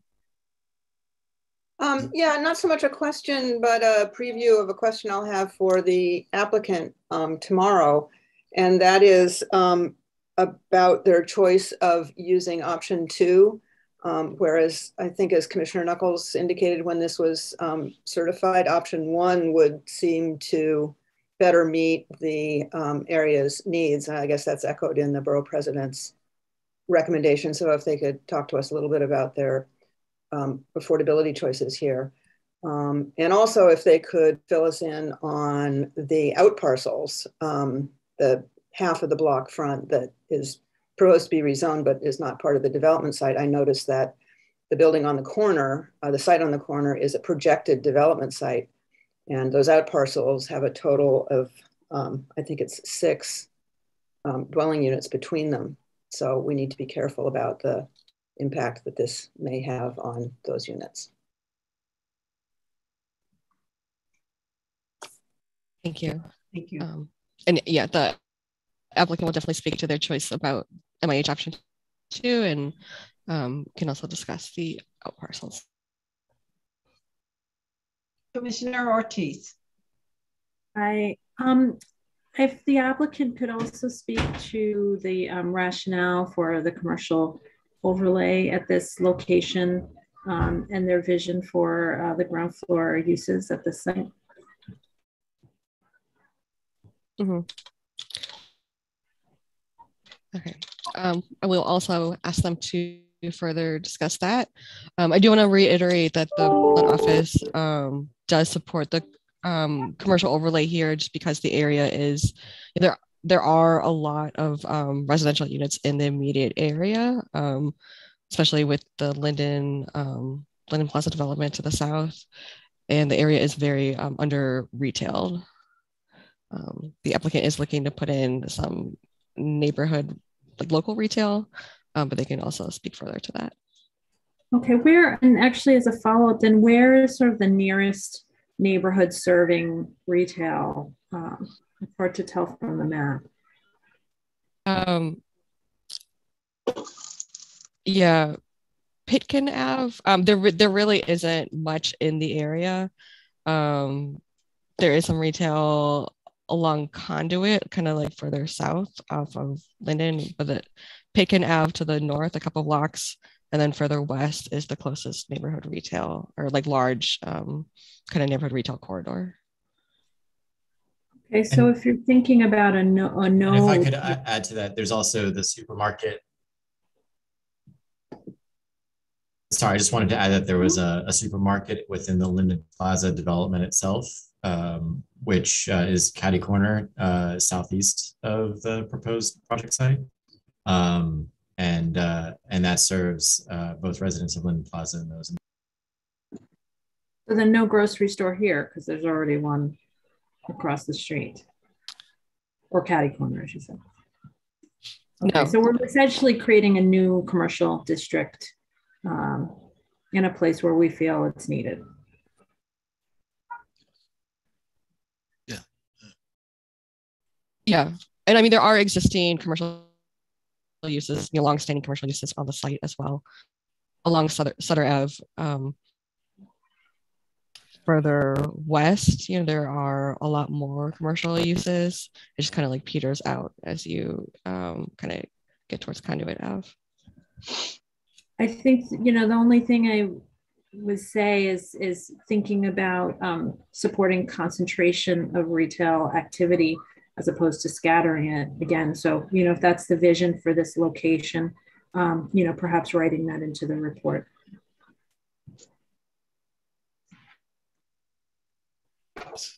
Thank you. Thank you, uh, Commissioner Ortiz. Are there any other questions or comments on this from the commission? Okay, all right. Well, this will be on for public hearing tomorrow, January 19th. Thank you. Thank you. The let's on uh, the fourth item on our agenda is a post-referral review of a non-ULURP CPC certification in Manhattan, Community District 11. Jose Trucios is our presenter. Jose? Good afternoon, everyone. Um, can you guys hear me? Yes. Great. Um, this is a third follow-up certification related to the 2017 approved actions uh, to facilitate the development of a new mixed-use building and a new home of the, uh, for the National Black Theater. Next slide, please. A private application by 2033 National Black Theater Way LLC for a certification by the City Planning Commission pursuant to zoning resolution section 9755 to allow the location of an enclosed loading berth to be located closer to a residential district boundary than otherwise permitted. The action will allow the applicant to continue to move forward with the planned build-out year by 2024. Next slide.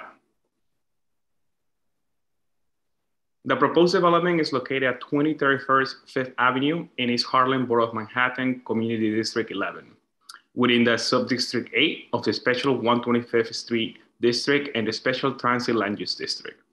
Zoned as a C47 district, it includes Block 1750 and Lot 1, bounded by East 126th Street to the north, south of 125th Street, Fifth Avenue to the west, and Madison to the east. Lot 1 has uh, an area, um, lot area approximately of 17,000 square feet and then occupies the entire frontage on Fifth Avenue, which is approximately 200 feet. Um, and approximately 800 um, 85 feet of frontage in East 125th and East 126th Street. The surrounding area is very well served by mass transportation, which the commission recognized in granting the special permit to reduce parking requirements under section um, 74533 of the zoning resolution in 2017. Next slide. Here are some photos of the surrounding area. In generally, uh, in general, low-rise buildings are located within the mid blocks of the side streets, and mid-rise buildings are located along the block, block fronts of avenues on 125th Street. Um, community facilities, including houses of worship, public schools, and community parks, like the 20-acre Marcus Garvey Park, located one block south of the development site, are dispersed throughout the surrounding area. Next slide. 125th district is predominantly commercial corridor characterized by a variety of building uses and heights within intervals of higher density developments. Next slide. The actions approved in 2017 include a rezoning of the site from a C4A district to a C47 district, a text amendment to establish a new sub-district with the special 125th Street District, and to designate the site as an MIH area, as well as a special permit to waive parking spaces. On August 2016 or last year, the MTA and the CPC determined that a transit easement volume will not be required for the site, releasing the owner from any obligation to provide transit easement um, on, the, on this, for this project. A, re, a, related application has also been filed for a chair certification for visual or performing arts, the VPA bonus, uh, under section 97423 of the Senate resolution, which is a chair certification. Next slide, please. Um, the proposed building will contain approximately 203,000 square footage of floor area, equal to 11.97 FAR including over 152,000 of residential, 27,000 of commercial, retail and service, and 27,000 community facil facility space for the theater. It will stand at 21 stories, 245 feet, with a 73 feet base, 15 feet setbacks along 125th Street, and 10 feet setbacks along Fifth Avenue and 125th Street. Approximately 200 residential units will be located on the 5th to 21st floors, of the 200 residential units, approximately 53 units will comply with the MIH1 Option 1 for affordability requirements. A loading berth is required as a result of the aggregate commercial use exceeding 25,000 square feet. Next slide. Um, here is the zoning section 9755, and I will go into details of the actual uh, findings. Next slide, please.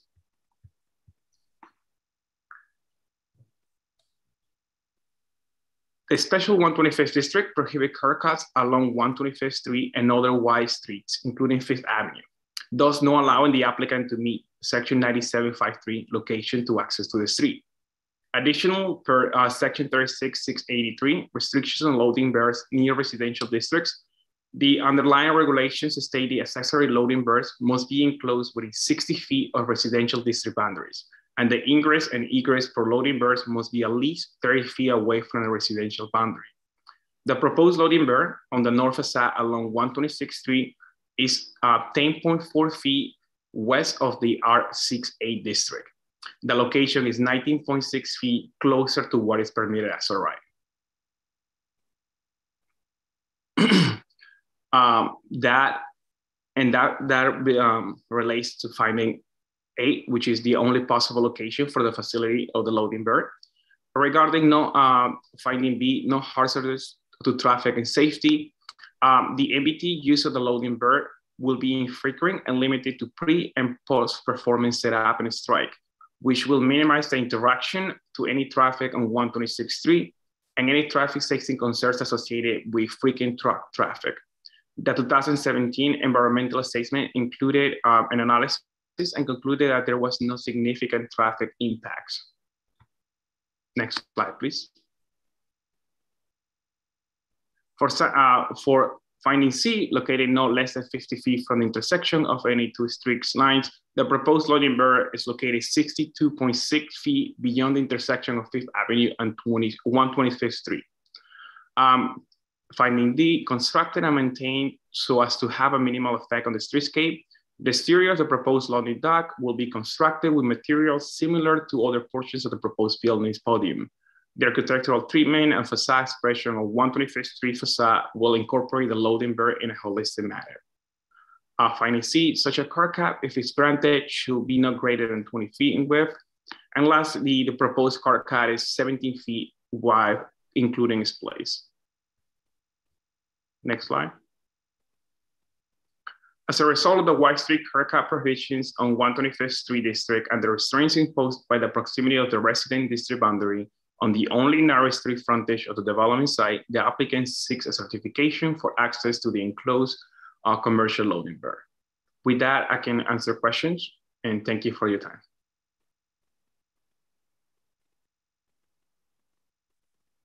Thanks very much, Jose. Uh, are there questions from the commission about this uh, CPC certification? Commissioner Levin. Um, yeah, two questions. One is whether this loading berth was part of the plan when it went through ULURP. Is this how did how do we get to doing this certification now? And the second question is um, where resident you indicated this is just for the um, commercial space. Um, where will residential loading take place? Uh, for the first question, uh, when this 2017 actions was appro were approved, the commercial square footage was still in flux and did not exceed uh. the 5,000 square footage uh, threshold. Um, and, and that's why they are now seeking this okay. certification. Uh, for the second question, if I if we can go back to slide, I believe it's nine. Um, there is a an entrance in um 125, I believe is Fifth Avenue for the uh, for the residential space. Um, but I just wanted to know that this will be only for the use of the National Black Theater, commercial uh, loading for the frontage of the of the proposed building uses will be on Fifth Avenue as well. So this will so, be only for the for the NBT use. Okay, so so street street loading for the mm -hmm. Fifth Avenue frontage. Yeah. Okay, thank you. Commissioner Burney. Uh, yeah, thank you. I just had one quick follow up here, and that is that um, when they are loading and unloading, if they're bringing in scenery and, uh, and artifacts and so on, uh, hopefully DOT will give them um, access on the street front and not allow parking on that stretch. Because if you come up with your truck full of scenery and then everybody's parking there, then you end up double parking and it's a whole mess. So hopefully DOT can be prevailed upon to give them a, a space over there. At the moment, 125, uh, 126 Street does not allow parking on the site. So I think that, that, that is being covered by them. So uh, that I believe that makes the location a lot more uh, proper yeah. for those loading berth. Terrific. Thank you. Commissioner Eaddy. You're on mute, Commissioner Eaddy. Apologies. Um, given that there's a theater there now, is this the location of a, the prior where they would load in material previously, or is this a different location? Do we know? This is a different location. Previously, uh, the entrance was on Fifth Avenue for, for all materials loading on that. Got it. Okay, thank you. Thank you. Are there any other questions? If not, can can I get an assent by a show of hands to send an approval letter to the Department of Buildings? Um, please, if, if you're comfortable with this, please say yay and raise your hand. Yay. Yay. yay. yay. Uh, any opposed? Say nay. Raise your hand. Okay, then the A's carry. So we're going to send this letter to the Department of Buildings. Thanks very much, Jose. Thank you. The fifth item on our agenda is a pre-hearing review of a UDAP designation, uh, disposition, site selection, uh, and, and disposition of city-owned property in Manhattan Community District 6. Our presenter is Aska Mohidin.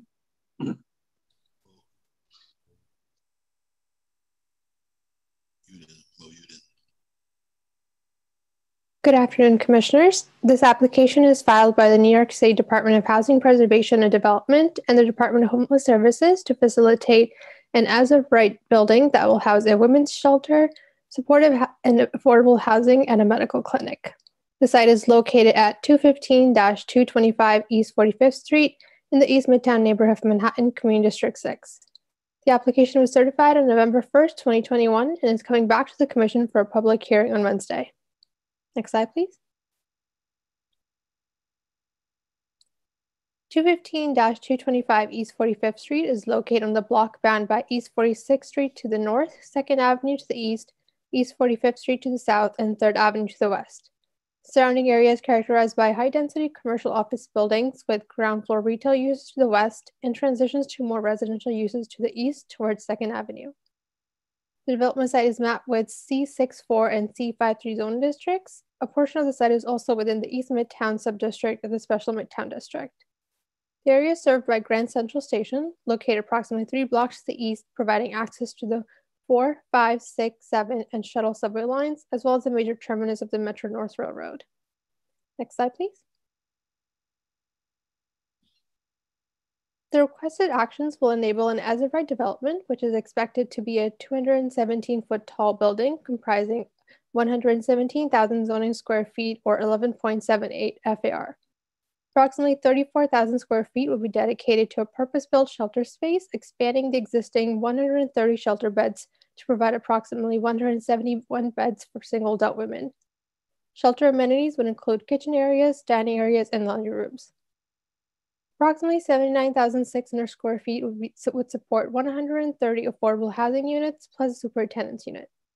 Of those 130 studio units, 79 would be supportive housing for formerly homeless individuals, and 51 would be for other low income individuals and households earning up to 60% of the area median income, which amounts to $50,160,000 for a one person household.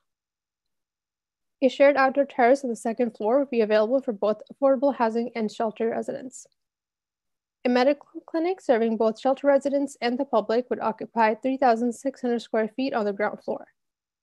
Project Renewal is the operator of the existing shelter on the site and expect, is expected to operate the expanded shelter in the future. Project Renewal currently operates 23 housing programs serving over 2,000 individuals a day throughout the city.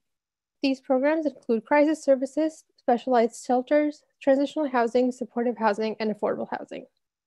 Next slide, please. The applicant is requesting two actions from the City Planning Commission to facilitate the as-of-right development shown illustratively on the right.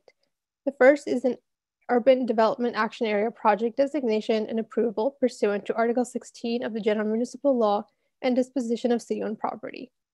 Second is a site selection pursuant to Section 197C of the New York City Charter to remove an existing capacity restriction of 150 shelter beds on the site imposed by the previous site selection in 1993. Next slide, please. On December 8th, 2021, Committee Board 6 voted with 39 votes in favor, zero opposed, and two abstaining to approve the application. On December 21st, 2021, the Borough President recommended approval of the application with conditions. These conditions include that the applicant agree to market available units in coordination with local Midtown organizations and prioritize Midtown residents as potential tenants. In response, the applicant has confirmed that the 51 affordable housing units will comply with the HPD and HDC marketing guideline, which currently allows for a 50% community preference for market units. For the 79 supportive housing units, referrals will be accepted from HRA and DHS directly. Next slide, please. In summary, the applicant is requesting a UDAP designation, approval, and disposition of city-owned property and a new site selection to remove the capacity limit on the existing shelter use. The two actions will enable the as-of-right development of a 21-story building, which will house a women's shelter, supportive and affordable housing, and a medical clinic. I'm happy to take any questions.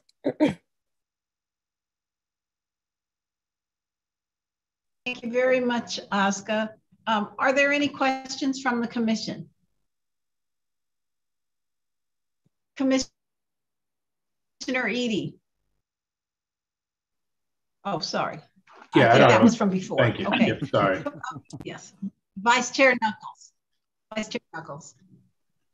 I, I just wanted to uh, uh, to uh, clarify of the the 130 units.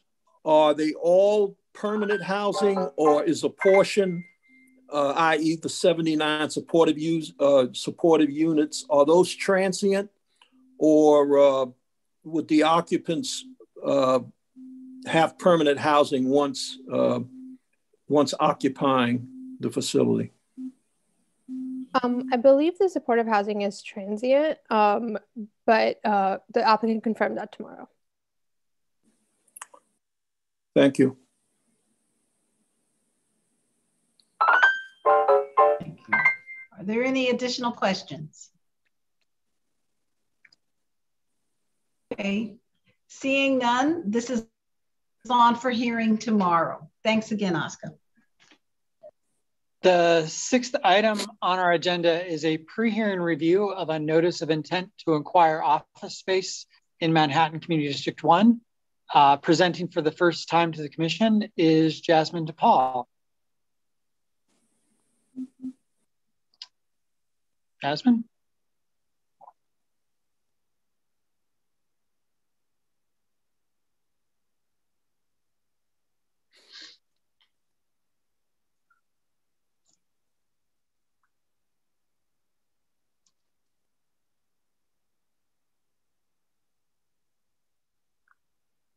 Jasmine, you are muted if you're trying to talk. I can see you, but I cannot. Can you hear me now? There we go. Okay. Apologies. It the Zoom just unexpectedly quit on me. It does that. go ahead. So, good afternoon, commissioners. This is a notice of intent to acquire office space by the New York City Department of Citywide Administrative Services, or DCAS, and the New York uh, Police Department, or NYPD. This is pursuant to Section 195 of the New York City Charter and will facilitate the acquisition of office spaces at 27 Cliff Street. So, additionally, the NYPD is seeking to park up to 10 vehicles at 80 John Street. Uh, both sites are located in Lower Manhattan in Community District 1. The office and parking spaces will be used by NYPD's World Trade Center Command, the WTCC is responsible for public safety, law enforcement, and security activities on the 16 acre World Trade Center campus. They work jointly with the Port Authority Police Department of New York and New Jersey as outlined in the World Trade Center Strategic Security Plan. Next slide. The proposed NYPD office space is located at 27 Cliff Street and is generally bound by Fulton Street to the north, Gold Street to the west, and John Street to the south. The lot is mapped on a C6 4 district. The entrance to the proposed NYPD parking facility is located on Platt Street and is bound by John Street to the north, Gold Street to the east, and William Street to the west. This, um, this lot is mapped on a C5 5 district. Both sites are located in the Lower Manhattan Special District, and the surrounding area is characterized by a dense mix of commercial and residential buildings, and there are also several mixed use buildings and institutional uses. Next slide, please. Currently, the NYPD's World Trade Center Command occupies space within the NYPD's first precinct station house at 19 Varick Street, which also houses several other units. Since the WTCC's inception in 2011, the unit has nearly tripled in size and has outgrown the current approximate 23,300 square feet space that it shares with the first precinct and other units. The first precinct and its operations will remain at 19 Varick Street once the WTCC is able to relocate. Next slide. The relocation will place the WTCC about 2,000 feet from the World Trade Center campus, which encompasses One World Trade, Three World Trade, Four World Trade, the 9 11 Museum, Memorial Plaza, Liberty Park, the Ronald O. Perelman Performing Arts Center, the St. Nicholas Greek Orthodox Church, and the Brookfield properties. This area is well served by public transit. The ACJZ 2, 3, 4, and 5 subway lines can be accessed at the Fulton Street station and are all within a few blocks of both buildings. There are several bus lines in the area, including the M15, QM11, and QM25, as well as the free downtown connection bus. Additionally, there is a ferry service from Pier 11 and the Staten Island Ferry nearby. The area is also accessible by the Brooklyn Bridge, Manhattan Bridge, Brooklyn Battery Tunnel, and the Holland Tunnels.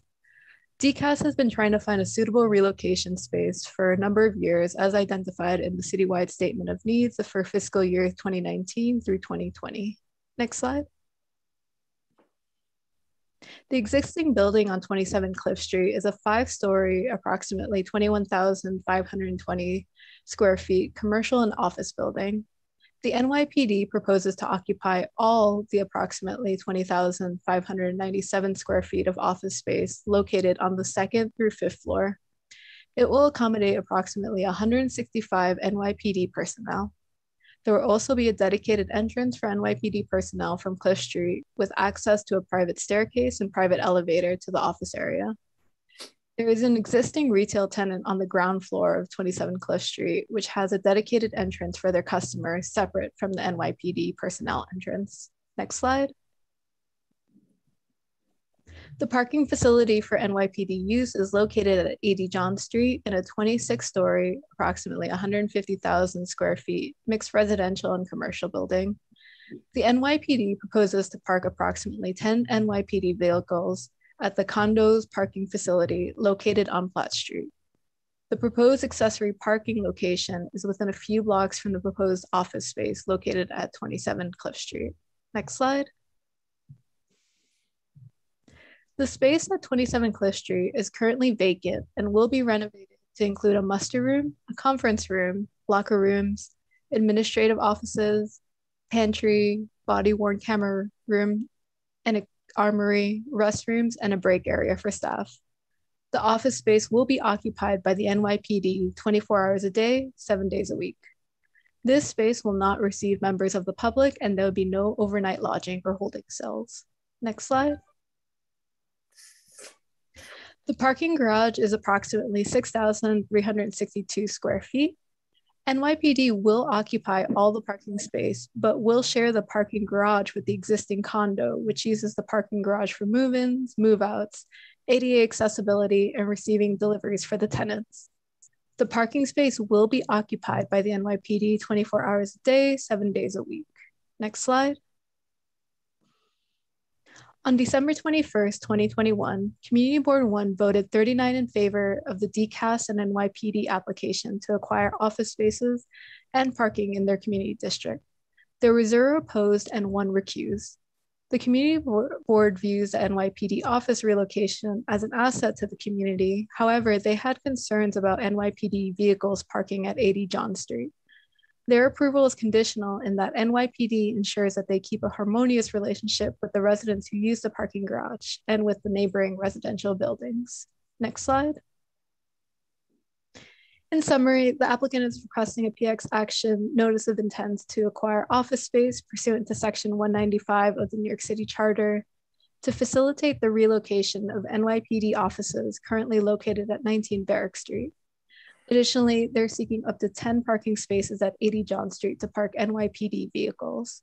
This project is set to be heard for public hearing uh, tomorrow, Wednesday, January 19th. Thank you for your time, and I'm happy to answer any questions. Thank you, Jasmine. Are there any, any questions or comments from the commission? Okay, well, thank you for that presentation. So this will be on for hearing tomorrow. Thank you. The seventh item on our agenda is a pre-hearing review of a business improvement district in Manhattan Community District 2. Our presenter is Douglas Rose.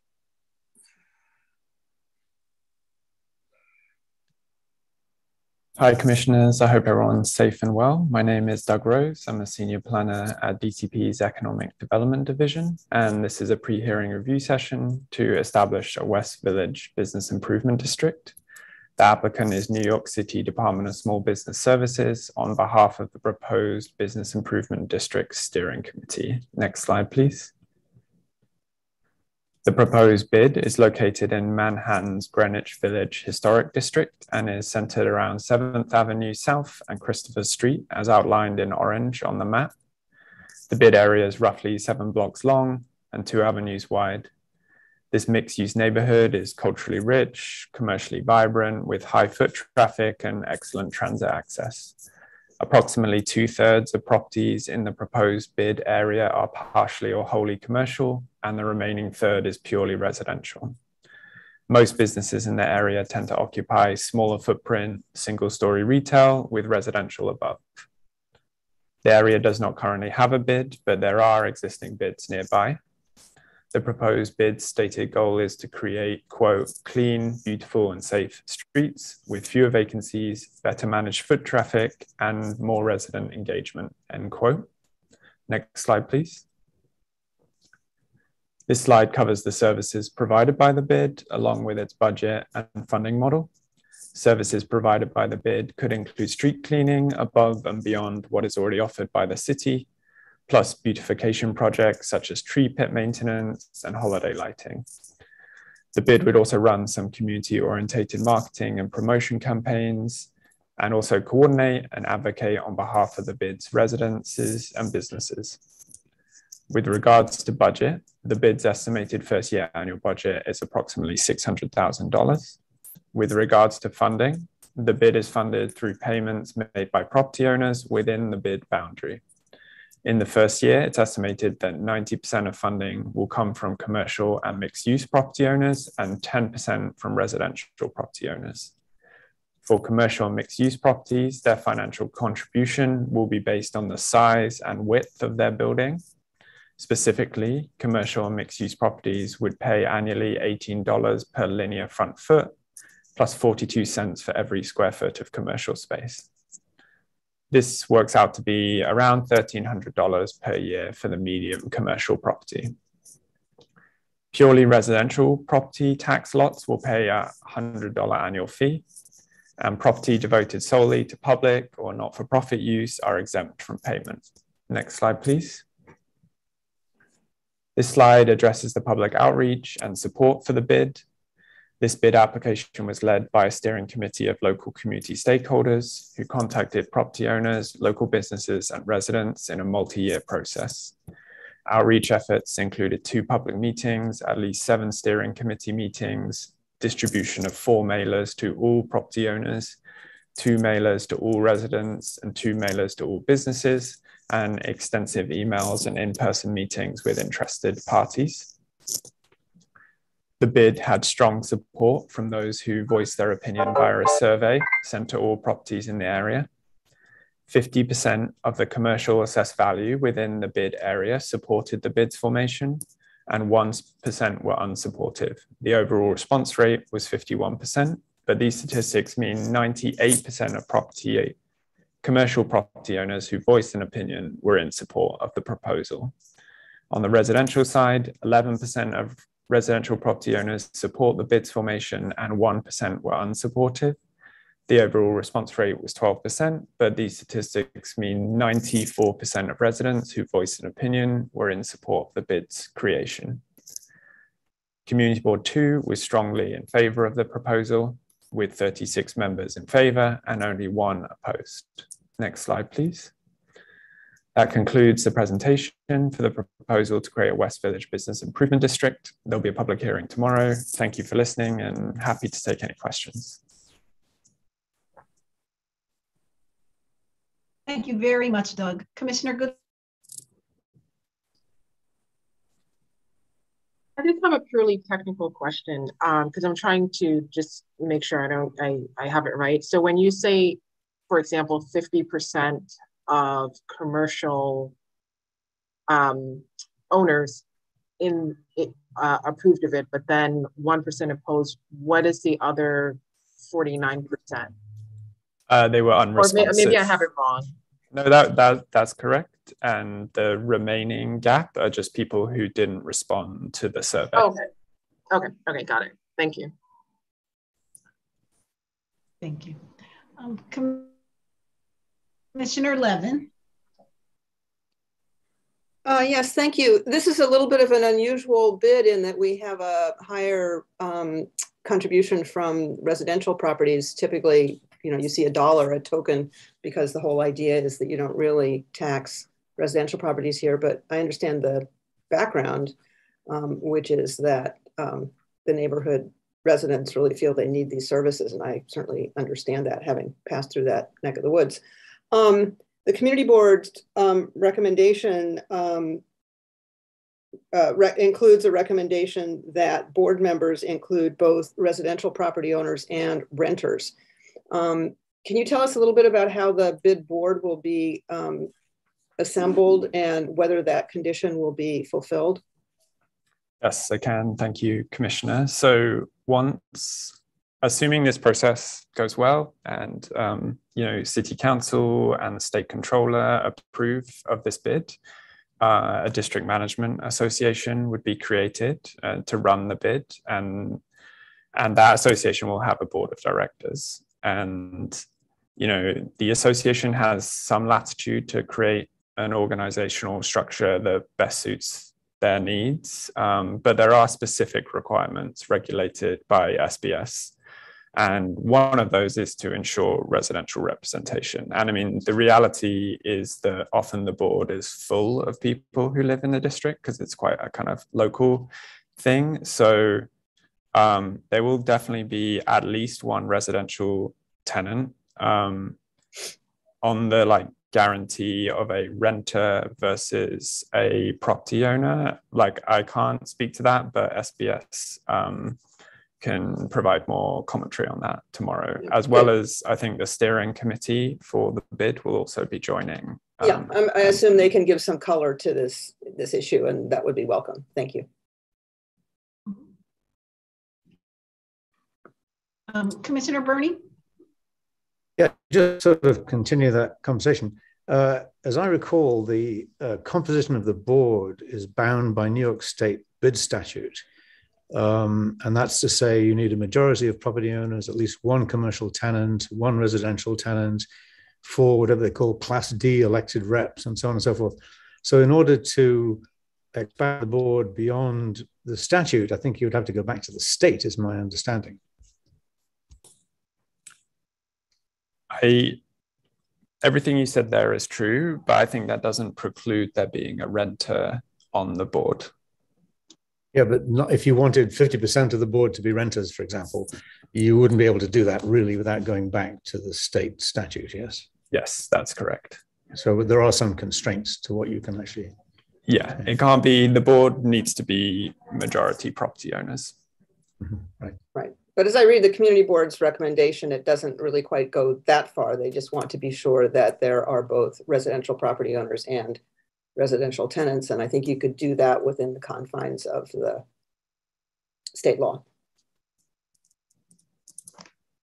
Hi, hi, it's Barry Dinstein. Um, if I can just jump in here, yes, the, the statute sort of sets a, a proportion, but generally with uh, bids like this, um, you know, they're just looking for volunteers and they try and get as many people to participate as they can.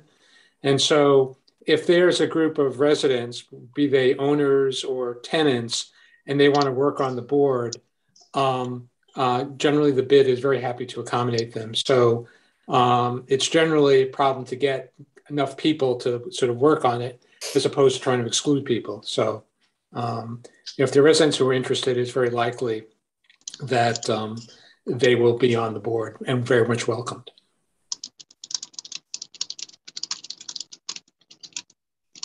Thank you. Um, Commissioner Goodridge, you have another question? Oh, okay. I see your hand up. Okay, are there any additional questions from the commission?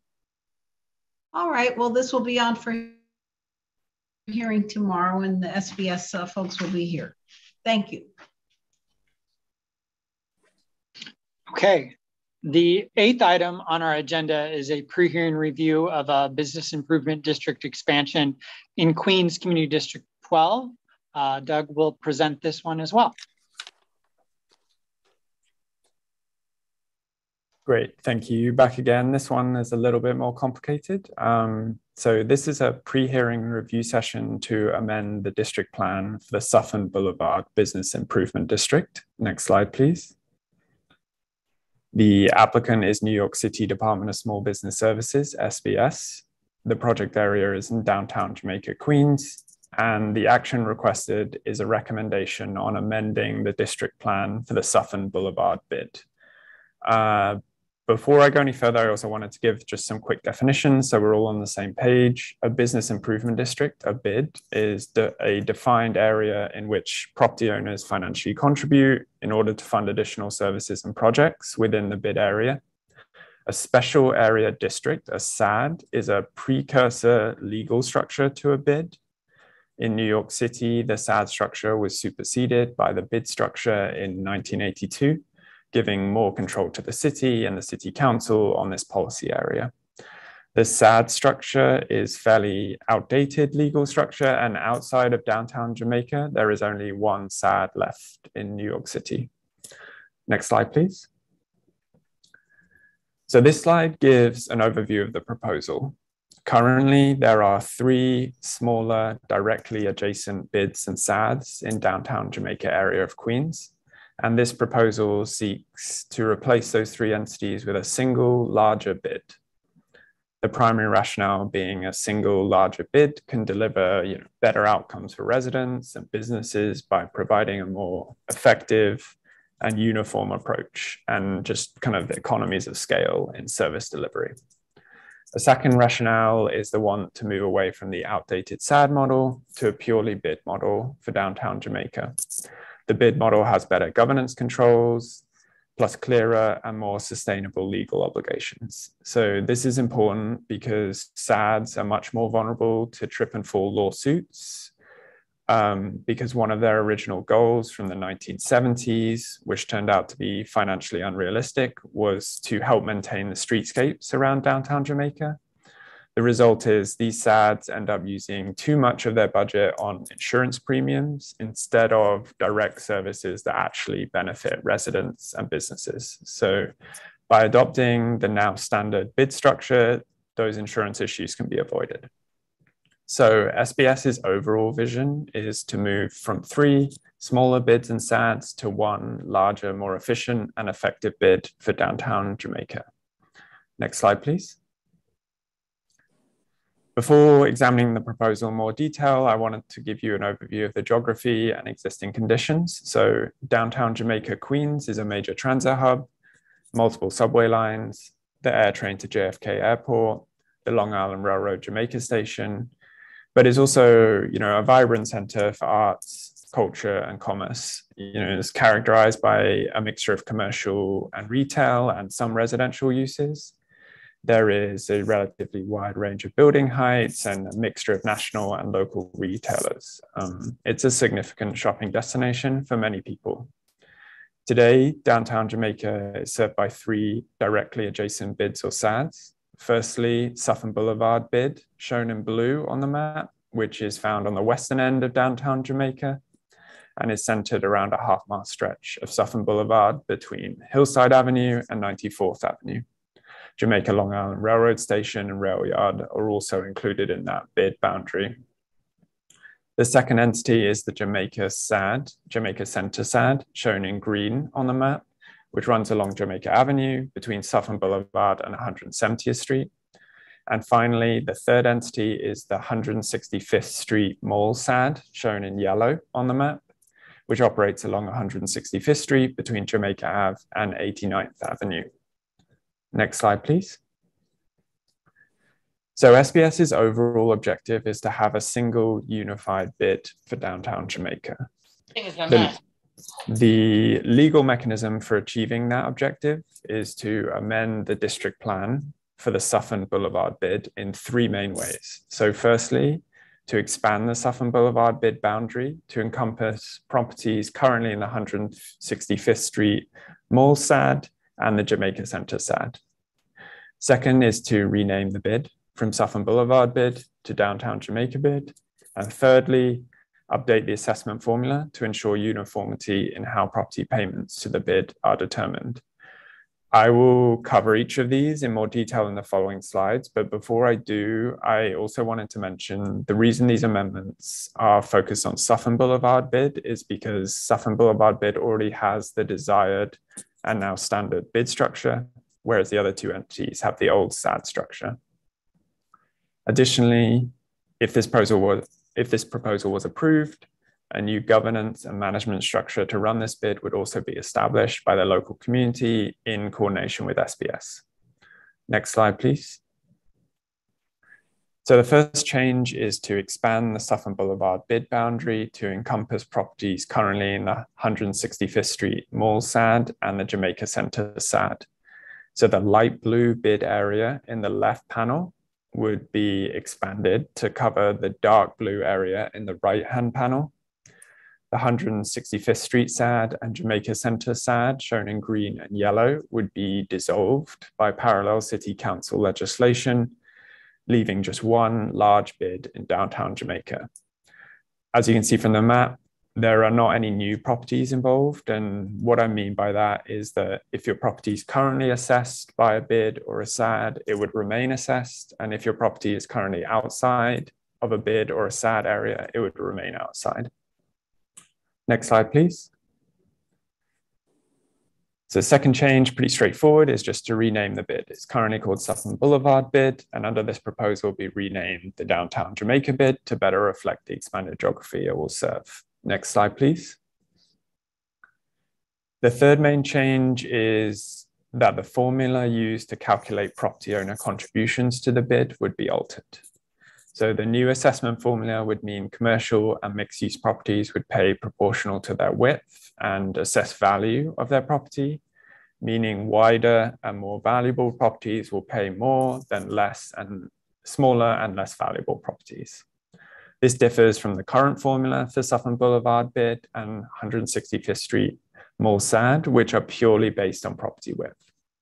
The proposed formula is in line with best practice and is similar to the Jamaica Center SAD formula. So to recap on this slide, the new formula would mean properties pay based on how wide their property is, but also how valuable it is, whereas the existing formula is just based on building width. Next slide, please. So this slide covers the services the expanded bid might provide, along with detail on budget and funding model. So services provided by the bid could include street cleaning and beautification projects, such as tree pit maintenance and holiday lighting above and beyond what is already offered by the city. The bid might also run some marketing and promotion campaigns and coordinate and advocate on behalf of the bid's residences and businesses. With regards to budget, the bid's estimated first year annual budget is approximately $1.35 million, with the option to increase the assessed assessment budget to 1.5 million in future years. With regards to funding, the bid is funded through payments made by property owners within the bid boundary. For commercial and mixed use properties, their financial contribution will be based on the width and value of their property, as mentioned on the previous slide, Specifically, commercial mixed use properties would pay annually $61 per linear front foot plus 2.2 of a cent for every dollar of assessed value.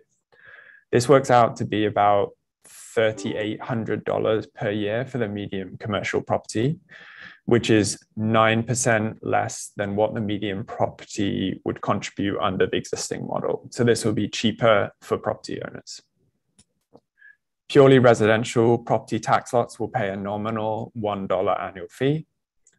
Property devoted solely to public or not-for-profit use are exempt from payments. Next slide, please. This slide provides some more detail around the support for bid unification. So in 2014 and 2015, the Mayor's Office, DCP, EDC, and Queen, the Queen's Borough President's Office led a Jamaica planning initiative to engage stakeholders and develop an economic development strategy for downtown Jamaica. This nine month initiative included over 30 meetings with community stakeholders and resulted in the Jamaica Now Action Plan, which identified 21 strategic initiatives, one of which was to unify these three downtown bids and SADs to strengthen their marketing and programs and service delivery.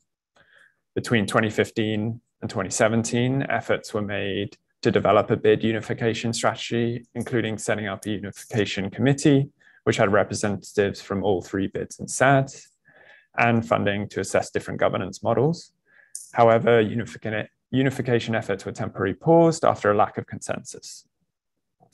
Bid unification efforts were restarted in 2021, gaining support from the borough president, outgoing council member Miller, incoming council member Williams, and the Greater Jamaica Development Corporation. And in 2021, SBS re-engaged existing bids and SADs about unification. The community board met in December 2021, so last month, to discuss this proposal. 19 members of Queen's Community Board 12 opposed this action, and 12 members were in favor.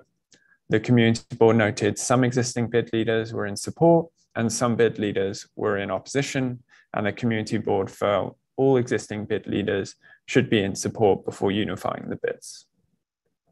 Next slide, please. That concludes the presentation. There'll be a public hearing tomorrow, which will include a presentation from the applicant, New York City Department of Small Business Services. Uh, thank you for listening and happy to take any questions. Thanks very much, Doug. Are there questions from the commission about this one? Commissioner Ortiz. Hi. Um, yes, I have a number of questions, maybe maybe some for tomorrow, but I will flag them. Um, in the footnotes, um, and you mentioned it here, you talked about the insurance premiums, um, and you said they would go away. Um, what are the insurance premiums, and is the unification does the unification then eliminate those premiums. So what kinds of savings are we talking about um, here? Do you have that information? Yeah, so um, I think SBS are better placed to answer those questions in more detail. I can give you a broad overview, which is yes, those insurance premiums will be significantly reduced. So the Jamaica Center SAD right now pays over $200,000 a year in insurance premiums. And those insurance premiums are pre- predominantly related to trip and the threat of trip and fall lawsuits, um, which kind of goes back to the origin of the goals of these SADs in the 70s. Um, and so this will reduce those premiums signif- significantly. So, for example, the Sutphin Boulevard bid, which has the kind of desired desired and now standard bid structure, their insurance premiums are only $8,000 a year. Um, so it kind of gives you an idea of the savings. Um, and then I think at the end, you had a more general question about savings, which is insurance premiums are not the only saving available here. I think just kind of merging three uh, contracts and organizations just allows for some efficiency um, in contracting costs. Yeah, I think some of the documentation, I did an assessment about 123,000 in administrative savings.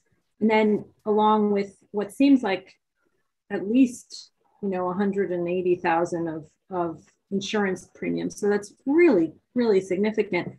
And then the second piece, um, you mentioned that there, as a result, I guess, of some of those savings and the potential to reallocate towards services, right? We always, the gold standard is services, not paying for overhead. Um, you said there would be a decrease of about 9% in, um, you know, the, the average uh, assessment. Yes. So um, based on the calculations that SBS has done, um, they're saying that this is going to be cheaper for the average property owner. So um, we're hoping for lots of wins here where you know standard of delivery of services will maintain be maintained or even improved but also it will cost property owners less. Um, yeah so the media i think it's the medium commercial or mixed use property will pay 9% less.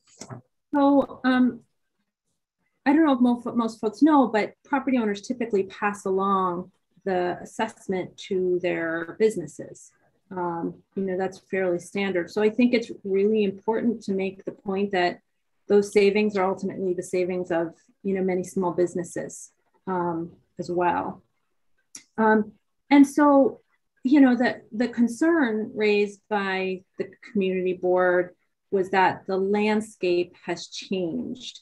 Um, I would, I guess this is a question for them or for you, you know, what what landscape has changed? All of the things that were outlined in the jamaica now action plan um, remain you know the same. There's still duplicative services. The unification would still result in savings uh, a reduction in overhead. So I, I would just like to understand i mean is it really the concern that you know some people will be losing power or maybe losing a job? You know is that really what we're talking about? Because the savings seem um, you know, and, and the ability to uh, do more with less with public resources, I think is is really powerful. So, you know, I I think I would like for the for that to be teased out at the hearing. Thank you, Commissioner. Thank you. Uh, Commissioner Burney? Oh, yeah, actually, I had pretty much the same sort of question as Commissioner Ortiz. Um, I guess we better get down to Jamaica Avenue and trip and fall and sue before you take that right away from us, right? That's going to be, we're going to lose that. Uh, but maybe maybe tomorrow they can talk, they can talk a little bit more about uh, what's behind the community board opposition, this kind of lack of consensus among the bids, and it sounds like there's a bit of trouble in paradise back there. So maybe they can enlighten us on that, because uh, you know ostensibly it all seems like a sensible proposition. So what are people really concerned about? Yes, I know. Um, I was at the community hall meeting. SBS was also there, and um, but I know SBS have also been talking to a lot of other stakeholders, and I think have a better picture. So I'll let them speak to that tomorrow. Thank. Um, are there any additional questions? Okay, thank you, Doug. This is on for public hearing tomorrow. Thank you. Thank you. The uh, ninth item on our agenda is a pre-hearing review of a notice of intent to acquire office space in Queens Community District 6. Our presenter is Joy Razor.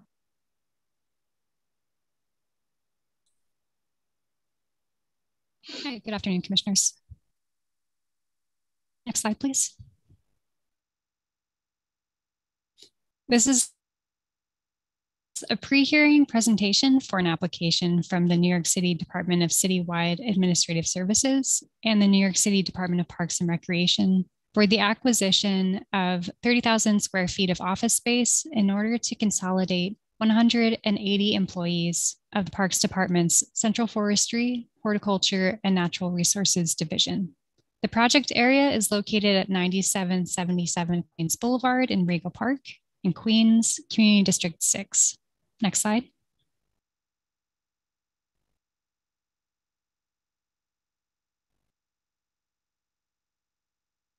The project area is located along Queens Boulevard within a C42 zoning district proximate to Flushing Meadows Corona Park. Next slide.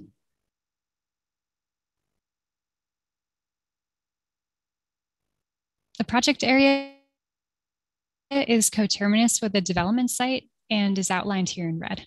The surrounding area comprises a mix of commercial and institutional uses.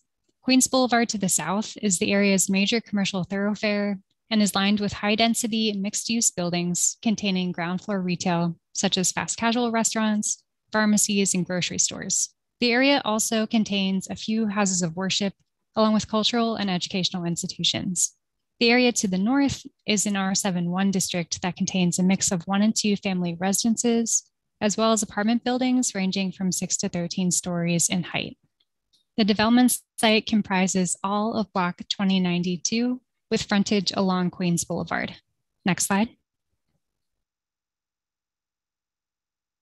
The development site is an existing 13 story mixed use office building bounded by Queens Boulevard to the south, 64th Road to the northwest, and 98th Street to the northeast.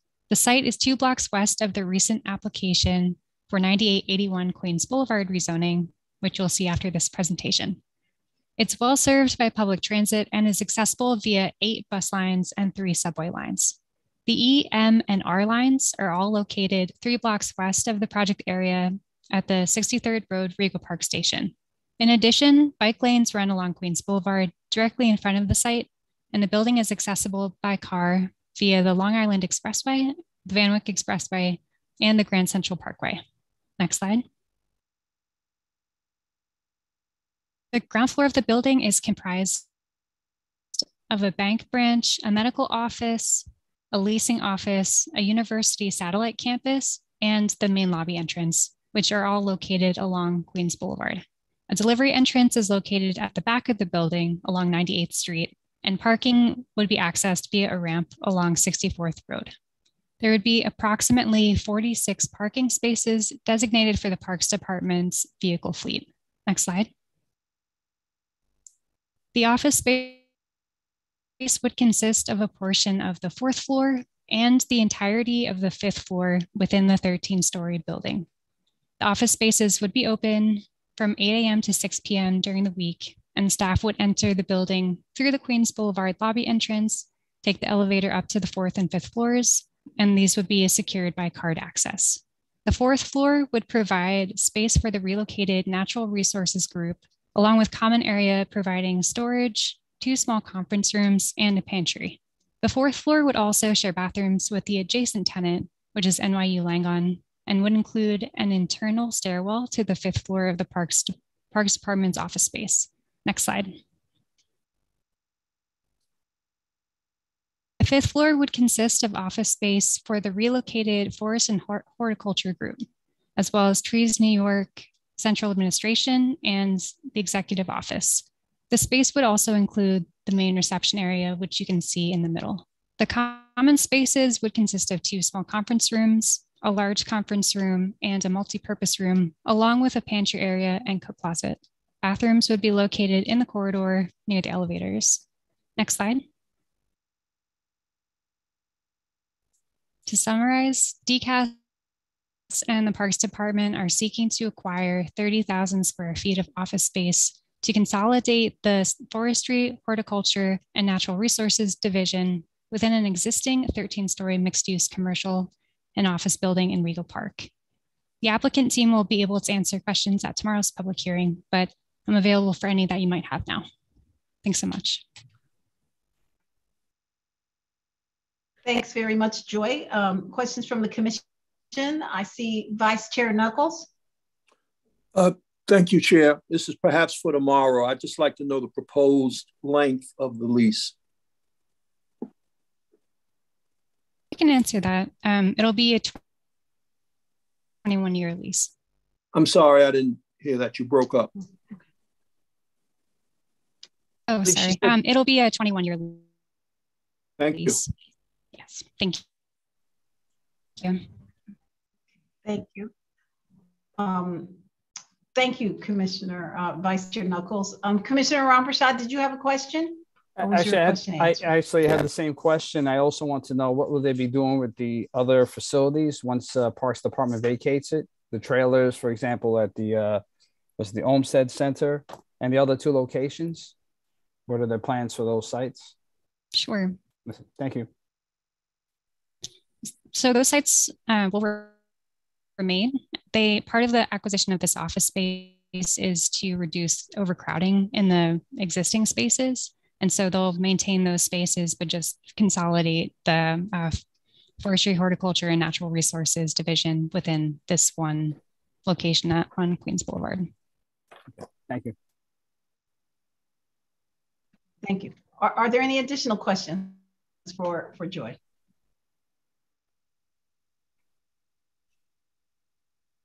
Okay, then this will be on for hearing tomorrow. Thanks a lot, Joy. Thank you. All right. The 10th item on our agenda is a pre-hearing review of a zoning map and zoning text amendment in Queens Community District 6, uh, just down the street. Uh, our presenter is Sarah Avila. Good afternoon, commissioners. This is 9881 Queens Boulevard rezoning, which is back for pre-hearing. Next slide. This is a private application by Trilon LLC proposing two actions. The proposed actions are a zoning map amendment to change a R71 C12 zoning district to an R8X C24 zoning district and a zoning text amendment to map a MIH area coterminous with the rezoning area. The project was certified at the review session on October 4th, 2021. Next slide. The project area is comprised of blocks uh, block 2105, lots 1, 10, 14, and 16. The project fronts on Queens Boulevard, a major thoroughfare. The project area is generally bounded by Queens Boulevard, a wide street to the south, 66th Avenue to the west, 99th Street, a wide street to the north, and 66th Road to the east. The project rezoning area is 21,472 square feet. The project is located on the EMR lines in between two MTA stations, the 67th Avenue Station, two blocks to the east, and 63rd Drive Rego Park Station, five blocks to the west. Next slide.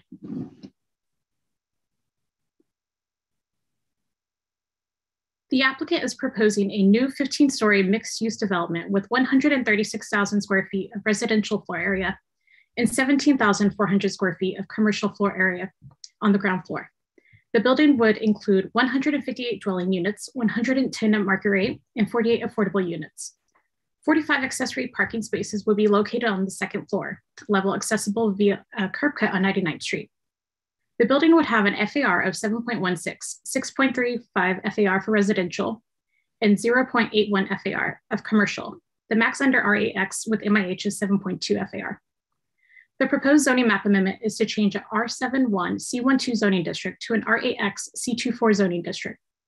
The applicants are also requesting a zoning text amendment to establish an MIH area. Their application seeks to map MIH options one and two. The applicant is proposing 158 dwelling units. Uh, there would be 110 units at market rate, 48 units under MIH option two, or 30% uh, residential floor area. Under MIH option one, it would be 40 units or 25% residential floor area. The AMI for Queens Community District 6 is 74,636. Next slide. On December 8th, Queens Community Board 6 held a public meeting and the board voted 32 in favor, four opposed, with zero abstentions to conditionally disapprove the application and discuss the following conditions.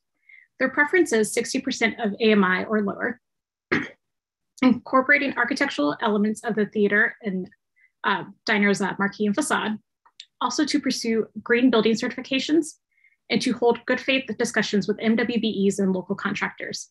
A copy of the full recommendation was included in your briefing materials. Next slide. The Queensborough president held a public hearing on December 23rd and issued a recommendation to disapprove the application with the following conditions. That the developer should commit to MIH option one, 25% at 60% AMI, and to have a goal of 30% for local hiring and use of MWBE businesses during the construction phase. Also that the developer should guarantee and offer um, space for existing tenants. Lastly, that the proposed development should um, incorporate architectural features of the existing theater and diners facades wherever possible. That concludes my presentation. The applicant team will be here tomorrow morning for the public hearing. Thank you. Thanks very much, Sarah. Uh, questions from the commission, Commissioner Rampershad. Yeah, um, I guess uh, I can wait for tomorrow, but I'm just curious how the applicant team is going to respond to both the community board and the borough president's comments since they both were against it. Um, not just more of a statement. so I'll wait until tomorrow to hear the response. Thank you. Thank you. Thank you. Are there any additional questions? Okay, this will be on for hearing tomorrow. All right. Um, moving on to future votes. Um, on January 19th, 2022, uh, staff prepared reports on 9704 Sutphin Boulevard rezoning. I will note that this report will be as modified um, the CPC will be removing enabling language for MIH in the special downtown Jamaica district, uh, which has already been implemented by a text amendment that was approved recently. So it's just a bit of housekeeping, doesn't change the proposal. Um, 9907 um, Astoria Boulevard commercial overlay and the East 178th Street demapping are also on uh, prepared reports. Uh, for 1718 Decatur Street authorization and 1112 Wyckoff Avenue authorization, um, these authorizations are scheduled for a decision. Uh, Luis Garcia Martinez is here with some follow-up. Luis? Hi, good afternoon. Can you hear me? Yes. Perfect. Um, yes, I reached out to the applicant team to get more information in regards to both properties. Um, the applicant uh, replied that both properties are large two-family buildings that have tenants. In the case of 1718 Decatur Street, the existing two-story, uh, two-unit building was built in 1915 and is proposed to be replaced um, with a new three-story residential building with six, six dwelling units Similarly, on uh, 1112 Wyckoff Avenue, the existing two-story, two-unit building uh, built in 1920 uh, is proposed to be replaced um, with a new three-story mixed-use building with 10 dwelling units. And the applicant noted that they are in good contacts with all tenants and they will help them relocate and give them a good amount of time to do so. Uh, the applicant also mentioned that they would need another year to finalize DOB plans and another six to 12 months at least to start the project. So the current tenants would have 18, uh, 18 months, 12 years to relocate. Thank you. Thank okay. you. Are there any questions for Louis? Okay. Good. Thank okay. you. Uh, also scheduled for decision on Wednesday uh, is 875 Sinclair Avenue and 58 Buttonwood Road, um, both in Staten Island uh, for special districts. Uh, for post-hearing follow-ups, uh, we have Amboy Road reconstruction, if there are any questions on that. Um, the DEP Clearview pump station city map change. Um, I'll note that questions were raised at the public hearing uh, regarding environmental justice uh, issues uh, in locating DEP facilities. Um, in response, uh, in, or in addition to the response by DEP, um, city planning staff would also note that this is a pump station and not a, a, treatment facility. So the, the odor and other thing externalities are not expected from this facility. Um, the, the proposed location is in the middle of an expressway. Um, it looks like the closest residences are pro approximately 100 feet away. Um, and then the neighborhood tabulation area of Bay Terrace and Clearview, where this facility is proposed to be located, has a median household income of $85,000, approximately $85,000, compared to a median household income of 64,000 uh, for in New York City and uh, 69,000 for Queens.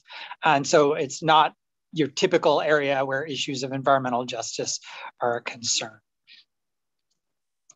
Um, for 660, 668 East Fordham Road, staff is working uh, with the applicant on a comprehensive response, and they will be back on January 31st. So if there's any further questions, we can cycle those back up.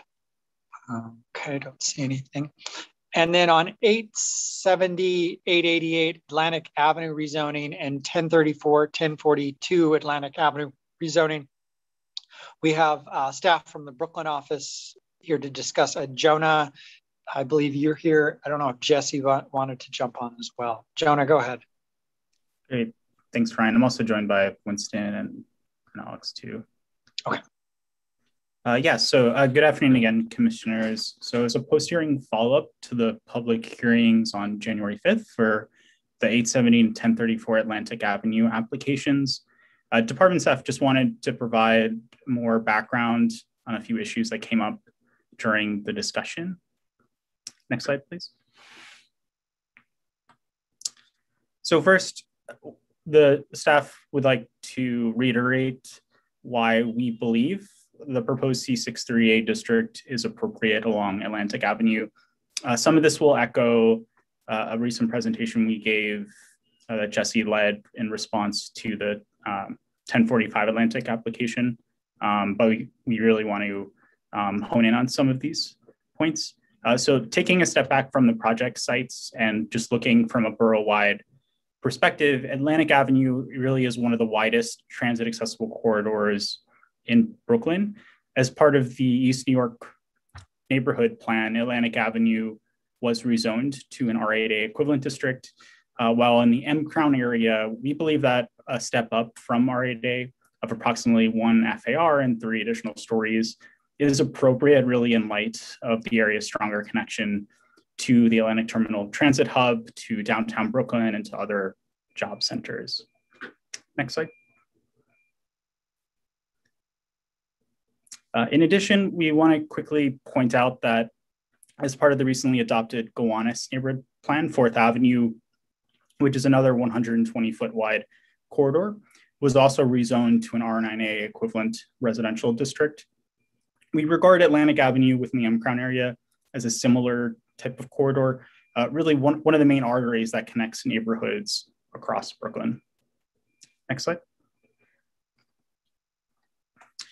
So as we think hard about opportunities for growth in the borough, the, the areas surrounding M Crown and Prospect Heights, Crown Heights, Clinton Hill, and Bed-Stuy are largely built up and mapped with low-rise contextual zoning districts, as well as designated as historic districts by LPC that while being vital for preserving the, the scale of these neighborhoods, it also can really constrain the capacity for housing growth, uh, which has been a, a, real planning challenge for the borough.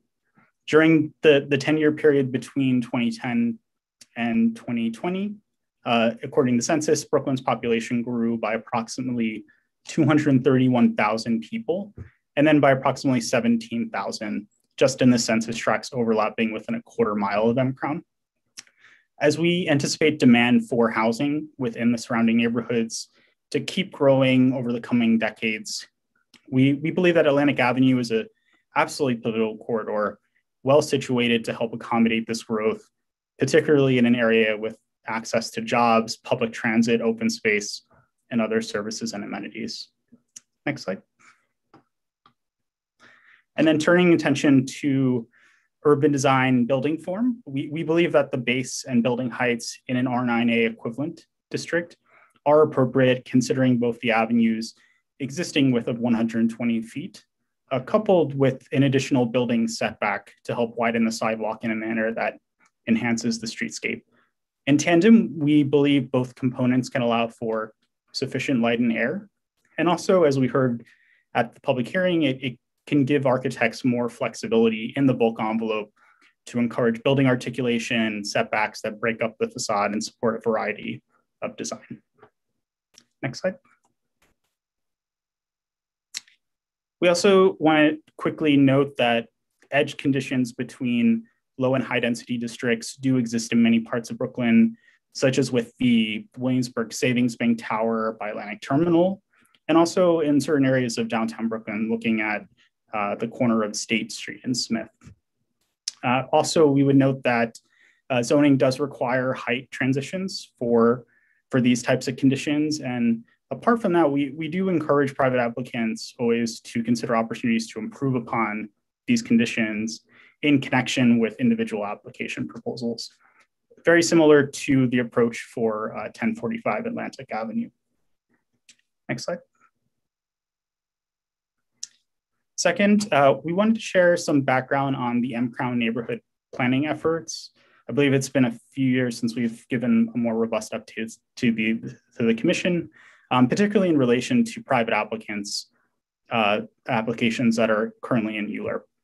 So during um, the public hearing, there were extensive, we heard extensive testimony from local residents requesting that the applicants withdraw in favor of a neighborhood plan. We want to clarify that the department is supportive of the community's request for a neighborhood plan. Over the past few years, we've worked to build consensus with the community board, with other stakeholders. However, the pandemic has unfortunately put a hold on some of this resource intensive work. However, since the pandemic began, we want to highlight a few public discussions we've held together with Community Board 8 on the topics of population and demographic trends, uh, two urban design uh, presentations and discussions, as well as a discussion on just general planning principles for the neighborhood and for the city. Currently, we're aiming to hold the discussion on the topic of capital and infrastructure planning. And over the past couple years, we've started engagement with HPD, with DOT, uh, Parks Department, and other agencies to assess opportunities and challenges. Uh, in addition to that, we've also been working closely with our capital planning division who have been immensely helpful. Uh, and, and with respect to transportation in particular, we just want to note that Atlantic Avenue is designated a priority corridor for DOT and is part of the Great Streets and Vision Zero priority corridors for infrastructure improvements and safety enhancements. Uh, so with all that being said, while the department does seek to continue working with the community to advance an M Crown neighborhood plan we want to stress that this remains subject to the priorities of the new mayoral administration, who we hope to closely coordinate with uh, in the coming weeks and months as we navigate this transition period. Next slide. Uh, so the third part and last part of the presentation, we'd like to discuss the general appropriateness, appropriateness of the private applications in mCrown and address a few concerns related uh, to environmental review and displacement. Uh, so while there are ongoing conversations around the future of the study and how it advances, we want to clarify that private owners do have a right to come forward and propose individual rezoning applications. For each applicant, we urge their team to meet early and uh, early and often with the community board, with other stakeholders to discuss and incorporate any feedback they have. We also believe that the framework itself represents a key consensus document that we've developed um, and, and to a large extent in partnership with the board. Uh, despite certain differences over density and height on Atlantic Avenue, we find that the framework serves as an invaluable guidepost for evaluating each application. And we also work to ensure that each proposal aligns with the framework as much as possible. Regarding questions at public hearing uh, related to environmental review for each application, I want to note that the CEQR generally requires that the analysis in each private application takes into account the growth assumptions from previous nearby applications, uh, particularly in a small geography such as mCrown. So to, to an extent, each environmental review analysis is additive rather than representing a completely isolated uh, analysis. Um, but that being said, apart from the environmental review required by CEQR, we're also in communication with partner agencies to help ensure that we're collectively planning for the cumulative growth of the neighborhood. Uh, so lastly, at, at the public hearing, there were a few questions and concerns related to displacement of current residents, and more broadly, the role of rezonings and new development in displacement. Uh, we, we recognize that displacement is a key concern in the surrounding neighborhoods. There has been and continues to be a trend of rising rents and a decline in the Black non-Hispanic population within the broader area. These kinds of trends reinforce the message that many residents face struggles to remain in their homes and neighborhoods, which we take very seriously. A significant part of displacement is about just helping people stay in their homes. Uh, there's been extensive work done by the city through HPD, through the mayor's office to protect tenants and other organizations to support tenants that face the threat of losing their homes, including uh, you know, from reforming rent regulation to providing legal assistance to at-risk tenants to enacting the certificate of no harassment pilot program. Tenant protections are important, we believe, irrespective of whether there is a rezoning or new housing being built in an area. Uh, and over the past eight years, only 1% to 2% of the city's land we estimate has been rezoned, but tenant concerns about displacement are far more, much more widespread. Uh, at the same time, we strongly believe that another key piece of addressing concerns about displacement is just the availability of homes for people of all income levels.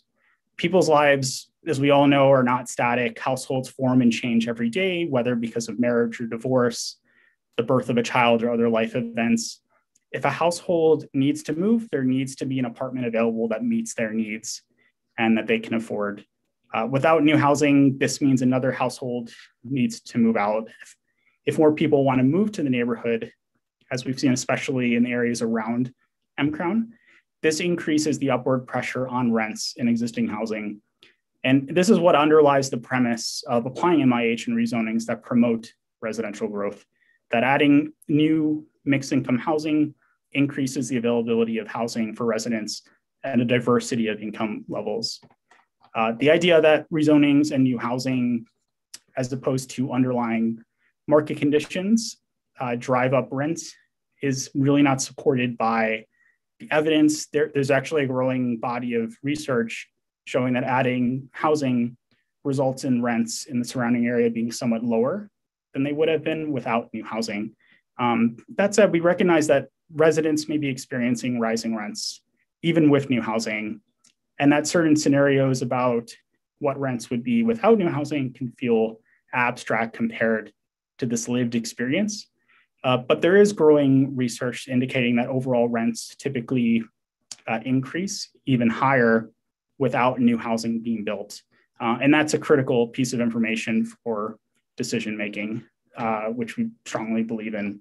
Um, so with that all said, while a new building doesn't directly solve housing challenges for the neighborhood, and we don't expect you know, M Crown or Atlantic Avenue to solve every all these problems, we feel strongly that each new building does make a, an important contribution to addressing this issue. Uh, and uh, that concludes my presentation. I'm happy to take any questions and um, we have other folks from our team here, including Winston and Jesse.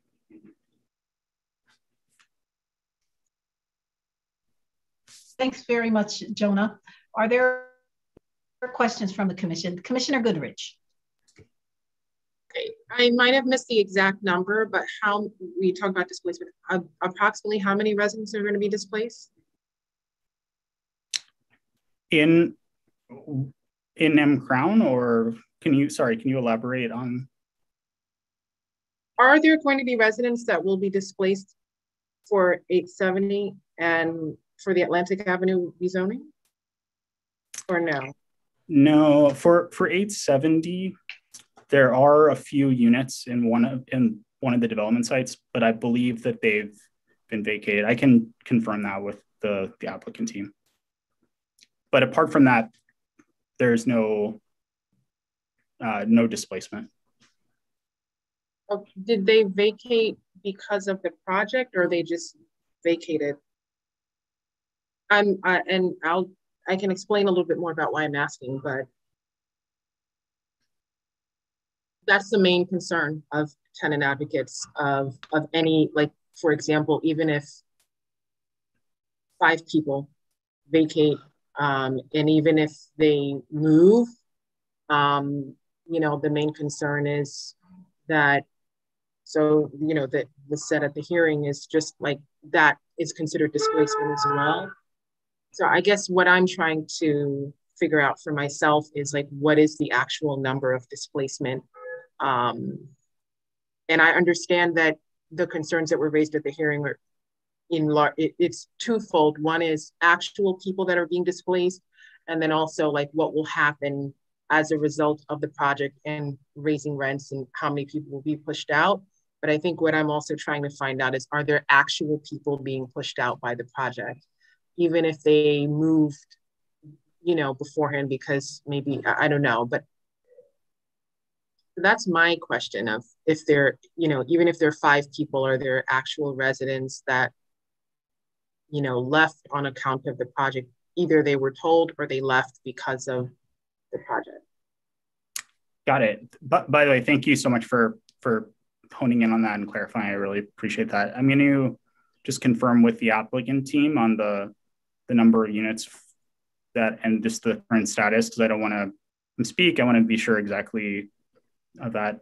Um, I just want to clarify for 1034 Atlantic Avenue, um, their project, there are no residential units within their project, um, but there are certain, there are two residential buildings that are within the project area, but we don't anticipate those uh, to be redeveloped um, because they're quite small, they're already built up, um, uh, to your second question. Oh, I'm did I do I have it wrong? So which Atlantic are we talking about? We're talking about I'm I'm I'm I'm humble enough to admit if I'm wrong, if I have the wrong building. So are we which which one are we um talking about for Atlantic right now? Uh so 870 right, Atlantic right, right, right. is is the one where uh their project, their development site does have okay. a building with some units. So I want to confirm. Um, okay. The other right, project. Okay. okay. great. All right. So I just want to make sure I would I would have been would have been funny if you said we're talking about like five Atlantic Avenue or something. Like no. Um, my other question is, and this is kind of separate, I guess, from what you were talking about, but it's something that comes up frequently in CPC hearings and also certainly came up here is um, the sort of like promise versus accountability. A lot of developers, you know, when they testify, one of the main things, the promise is we're going to bring in jobs. And then, you know, you have unions, they might talk to unions and then they also come and testify and support. I guess what I'm wondering is, you know, there's such a variation between the promise and then when the, the project actually goes through. Is there like, is there any measure for accountability there? Or is there, you know, is there, or is it just, you know, that that's what that's the main thing. And i think that's also a, a question that i think a lot of people have um, especially germane to this particular project. Got it. I'm sure others will want to weigh in but i would just say for the 1034 atlantic project um, that applicant is actually the same developer as a he proposed an application that was approved a couple years ago uh, in M Crown that's currently being developed. Uh, so there I would say apart from any like written agreement or legal agreement that they intend to enter, um, that developer has kind of formed this relationship with the board, uh, with many stakeholders. So, um, but that being said, I, let me just check in with the applicant team. I know my understanding is that they are uh, in the process of uh, coming to an agreement, uh, actually both written and a legal agreement apart from the application. Uh, related to uh, the use and MIH, um, but I'm not aware of. I just want to check the current status of that. I, I as a I'll just jump in as a as a now longtime observer of city planning commission hearings. My experience is that if unions come in support of something, it usually means that they have a, a, a contract yeah. of some sort with with the developer eh, who's there and and and, and you'll and, and mm-hmm. if you watch these long enough you'll actually have them come and say we haven't gotten to that point yet and we want to and so therefore we're not supporting this until we get to that point so the unions are, are usually very um, thoughtful about how they uh, present themselves in this process that's been okay. my experience that's really helpful um, okay all right, thank you. And, and Commissioner Goodridge, I would just add that, you know, during this process, there are different types of promises people make. Some of them are directly germane to decision making, and those get codified and are legally enforceable pursuant to our land use action. Sometimes there are other promises that are made to city council members and others and they may have an agreement those they're not enforceable in the same way as ours are and as your tenure goes on you will begin to clearly distinguish between the two types of you know promises and commitments that are made because you're right there are many representations made about things that will happen but all, they're not all equal representations and they're not all enforceable in the same way mm-hmm. commissioner levin yeah, I was going to essentially say the same thing, um, but I think Commissioner Goodridge is asking and giving us an opportunity to reinforce an important point, which is the applications here are just for zoning map amendments and for text amendments um, to apply MIH. We have no power, unfortunately, as the Planning Commission to compel the building, the, the developer to build any particular building. Um, we just put the rules on the map for the shape of the building that they can eventually build. Um, so when they come in saying they're building a certain number of units or setback here and there, we can't make that stick. We have no way to make that stick. Um, there is very commonly a conversation that happens at the city council level where there is a political agreement reached um, and documented that communities can then use to hold the developers to what they have promised. But we don't have that power. Can I ask a follow up to that question, Commissioner Levin? Is there is there a way, like for example, if there's the same developer that comes before the commission, I mean, is it appropriate to just ask them like about prior projects? Like you promised this on on five prior projects. How did that promise match the reality? Or is it that is that allowed or is that it, it, I'm just wondering, like, as part of the ULURP, is it oh, is it appropriate to ask developers about the if they've come before about prior projects, or is that illegal? I don't know. I should I should let uh, our chair take a first swing at that because I'm just a regular old commissioner mm. here. But there's you know there's there's real power and there's and there's soft power. We have a lot of soft power. right. Yes. Uh, you know, Commissioner Goodridge, we you can ask any question that you want, whether or not it is directly related to the land use action or not. And there will be an answer on the record. Strictly speaking, though, your consideration of the actions that are before you really have to be based on land use planning and can't really be determined by extraneous factors, which some of these things are to the land use actions in front of you. But as Commissioner Levin said, you know, you've asked a question, it's been answered, and that will clearly color your thinking. But we really can't make determinations that are based on things like is the guy a good guy? Is he an honorable person? It's really is this land use action appropriate in the context that it's being sought in? That's really what we're asked to do. The city council has much broader purview in that regard than we do. Mm-hmm. And we also have to keep an eye on not what the developer is or the applicant is proposing to build, which is sometimes as a result of conversations with the community, they say, okay, well, we'll take it down a story. We have to look at what the reasonable worst case development scenario is um, because often a developer will flip a site. You have a new developer come in who is not part of those conversations, and they're just going to build according to the zoning. So it's important um, for us to keep an eye on both things: what the community, what the developer says they're going to build, and what the then the maximum possibility is for them to build for somebody else, they or anybody else to build under the zoning that gets put on the books.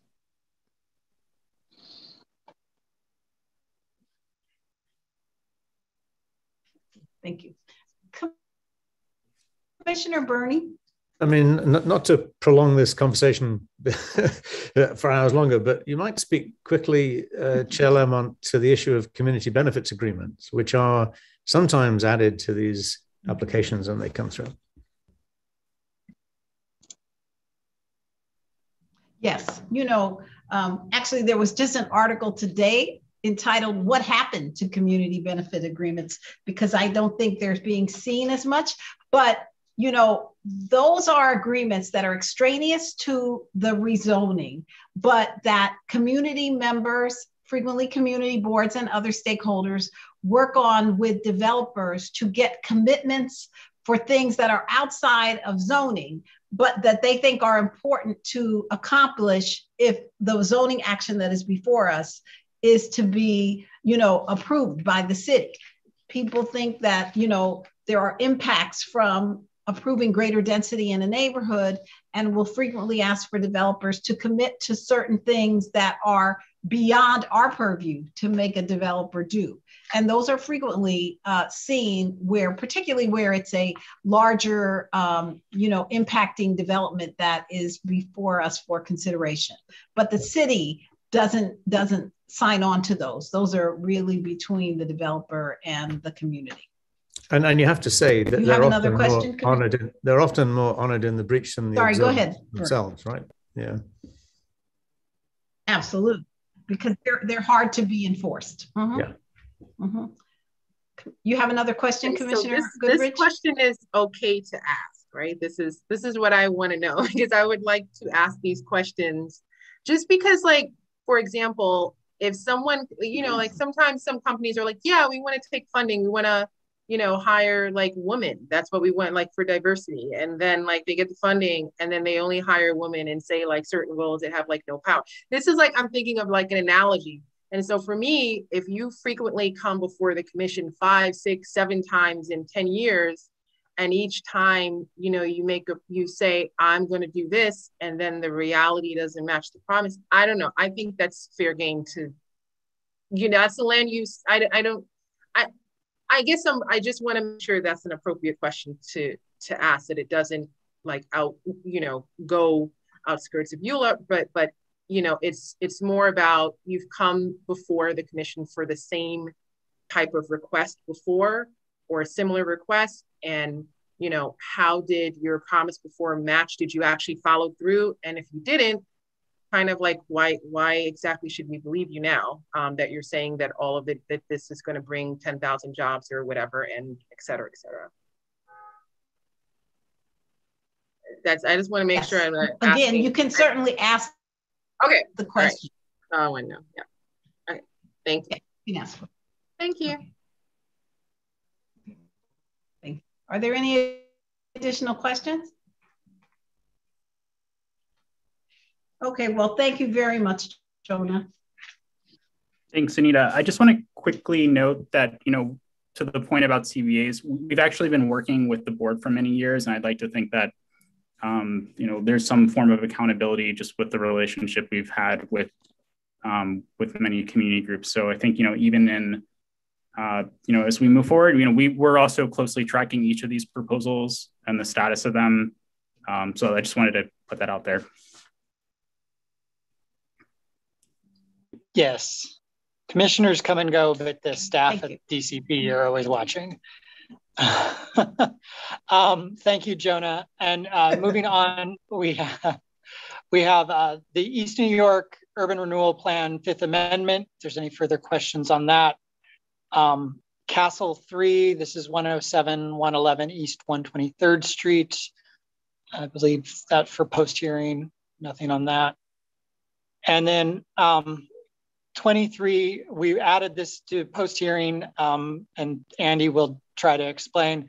Uh, 23, 25 Cleveland Place, um, which is a zoning text amendment. And Andy, why don't you tell us what's happening here? For it, yes. So 2325 Cleveland Place. Um, this has been almost a year since you've seen it. Um, so I'll briefly uh, just refresh everyone's memory on the project itself, um, and then discuss developments that have happened since the hearing. Um, so 2325 Cleveland Place, this is a zoning text amendment to modify the boundaries of the special Little Italy district in Manhattan Community District 2, uh, seen here between Spring and Kenmare Streets. Um, the applicant is proposing to develop an eight story, 30,000 square foot office and retail development.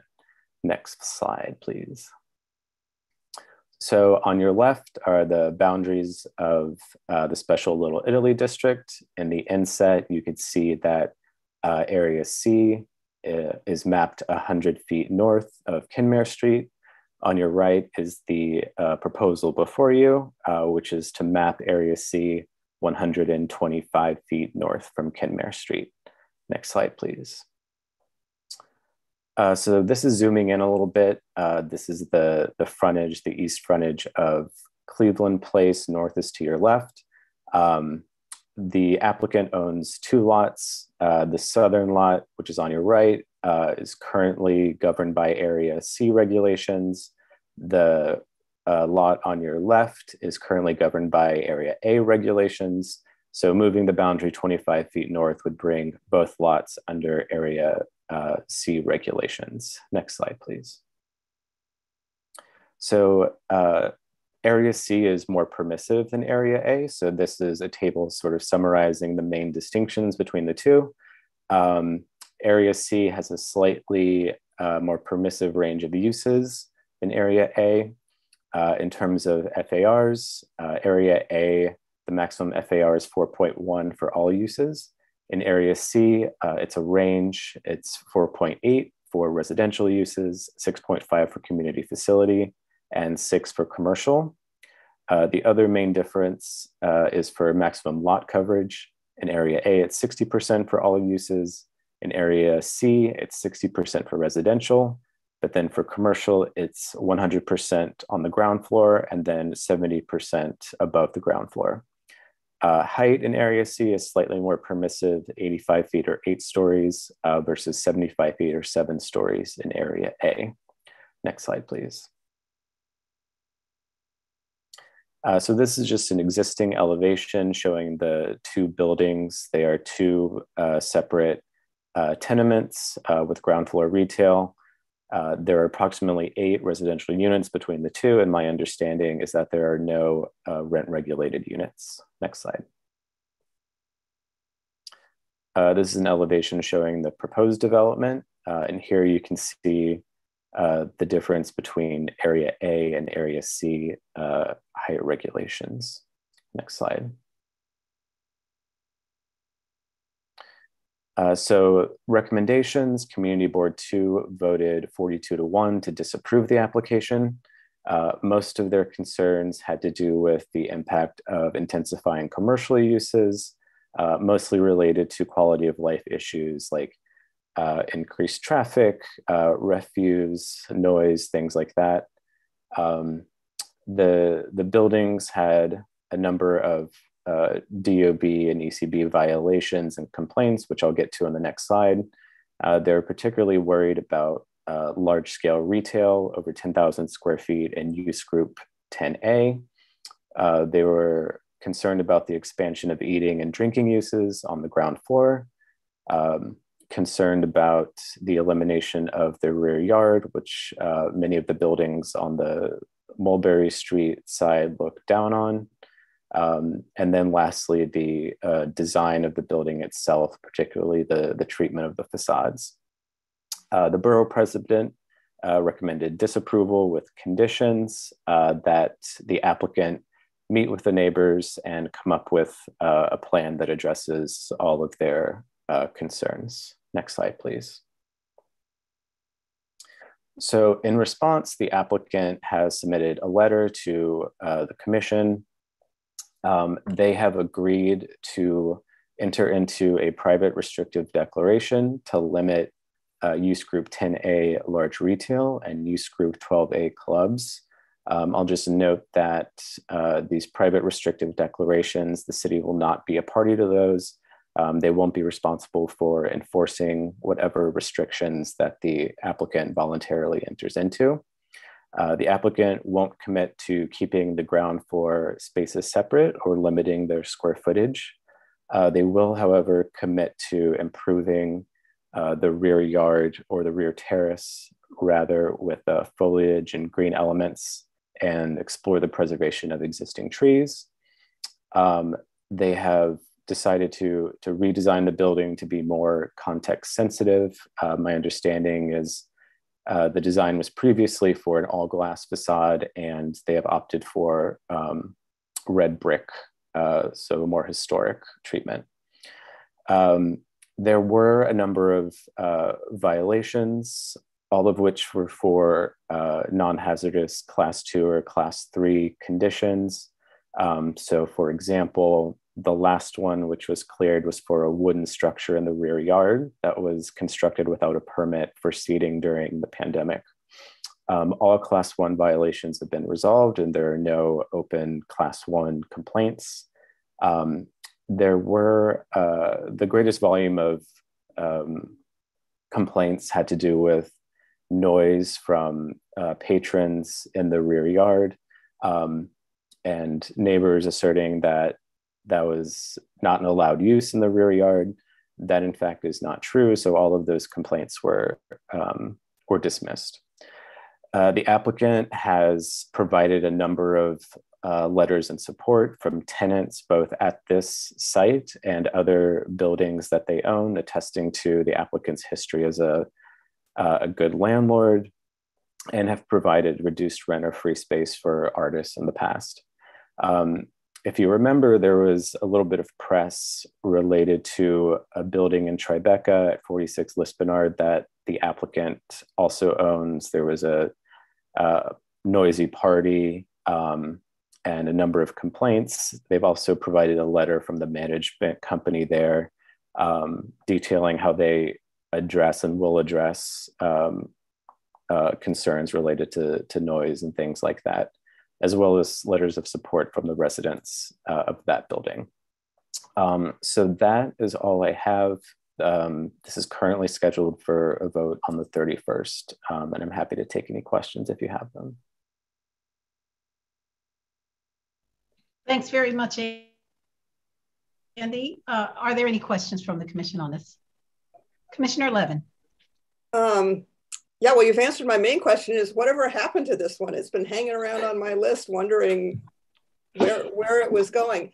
You know, this was one of the weirdest, hardest hearings um, we had in the last stretch of time. Um, it was really pretty ugly, and it, you know, it kind of gets to the questions that Commissioner Goodridge was asking about earlier about the nature of the things you can ask about what appears to be a pretty straightforward um, uh, zoning application turns out to have a whole lot of color attached to it um, that make you really cautious about um, moving forward.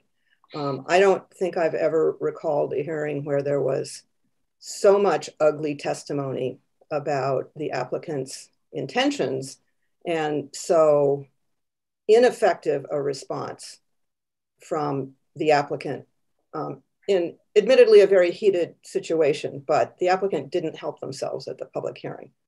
Um, for me, the main planning issue here is about the possibility of creating another large eating and drinking establishment in an area that is already saturated with bars and restaurants. And the fact that they, I'm glad that they will um, uh, commit to eliminating the large uh, retail space, the use group 12A, troubled that it would have to be in a restrictive declaration that um, has really very few legal teeth to it um, if the community doesn't stand up and try to enforce it. Um, and, uh, but would, and that they're refusing to agree not to um, leave the two retail establishments separate. So uh, I think those retail establishments have to stay separate um, for quality of life in the neighborhood. I don't think there's a good planning rationale for creating a large ground floor space. Um, and on that, that basis, I'm going to vote no on this. Oh, I guess I would ask, has this been, before I sound off, have you um, referred this to the community board and do we have their response to the presentation you've just made or the additional commitments that the applicants made? They should have an opportunity to let us know what they think. I don't have a response from the community board. Are they aware of these changes? Um, I'll have to double check. Okay. How, if the applicant has reached out to them a, a second time. So I'll get back to you. Thank you. Um, Commissioner Burney? Uh, thank you. Uh, Andy, could we see the revised and more contextual design that they've come up with? I don't have it, but I can send it to you. Thank you. Okay. Commissioner Goodridge. Um, there are many, there are there are um, many good landlords in New York City. I will admit that, um, but um, it is actually when when a tenant decides to bring a lawsuit, uh, mostly for repairs against them, it, it means that it's really hit the last resort. And uh, what I'm wondering is, is this have has there been like a search to see if this if any tenants have filed any you know any kind of case against this landlord um because i know the you know the landlord has tenants who um who who can attest to um, being a great landlord which which is fine um and that's one way to see but i'm also wondering you know if there are any lawsuits against in public databases um, it's not typically practice to search for um, actions uh, against an applicant. Um, for prior lawsuits. Prior. For prior lawsuits. This just yeah. sort of, you know, um, I don't know. I've, I've, it's, it's very hard for, in my experience, to file a sort of frivolous case. So most cases against the landlords, there really is like something there. So I, I guess I was curious. Um, okay. Yes, we don't we don't typically, you know, do that kind of work. In, in this instance, there was a lot of feedback, as Commissioner Levin uh, referenced, from the public through our process. So I think we have a pretty good sense about this landlord from, from the information that we have. Okay, thank you. Are there any other questions? Okay, thank you, Andy. Thank you. All right. Uh, Ryan, that, is there any other business? There are no, there's no further business on our agenda today. So this will conclude the review session uh, for Tuesday, January 18th. The time is 4.25 p.m. Thank you. See you tomorrow. See you tomorrow. Take care. Bye-bye. Bye-bye.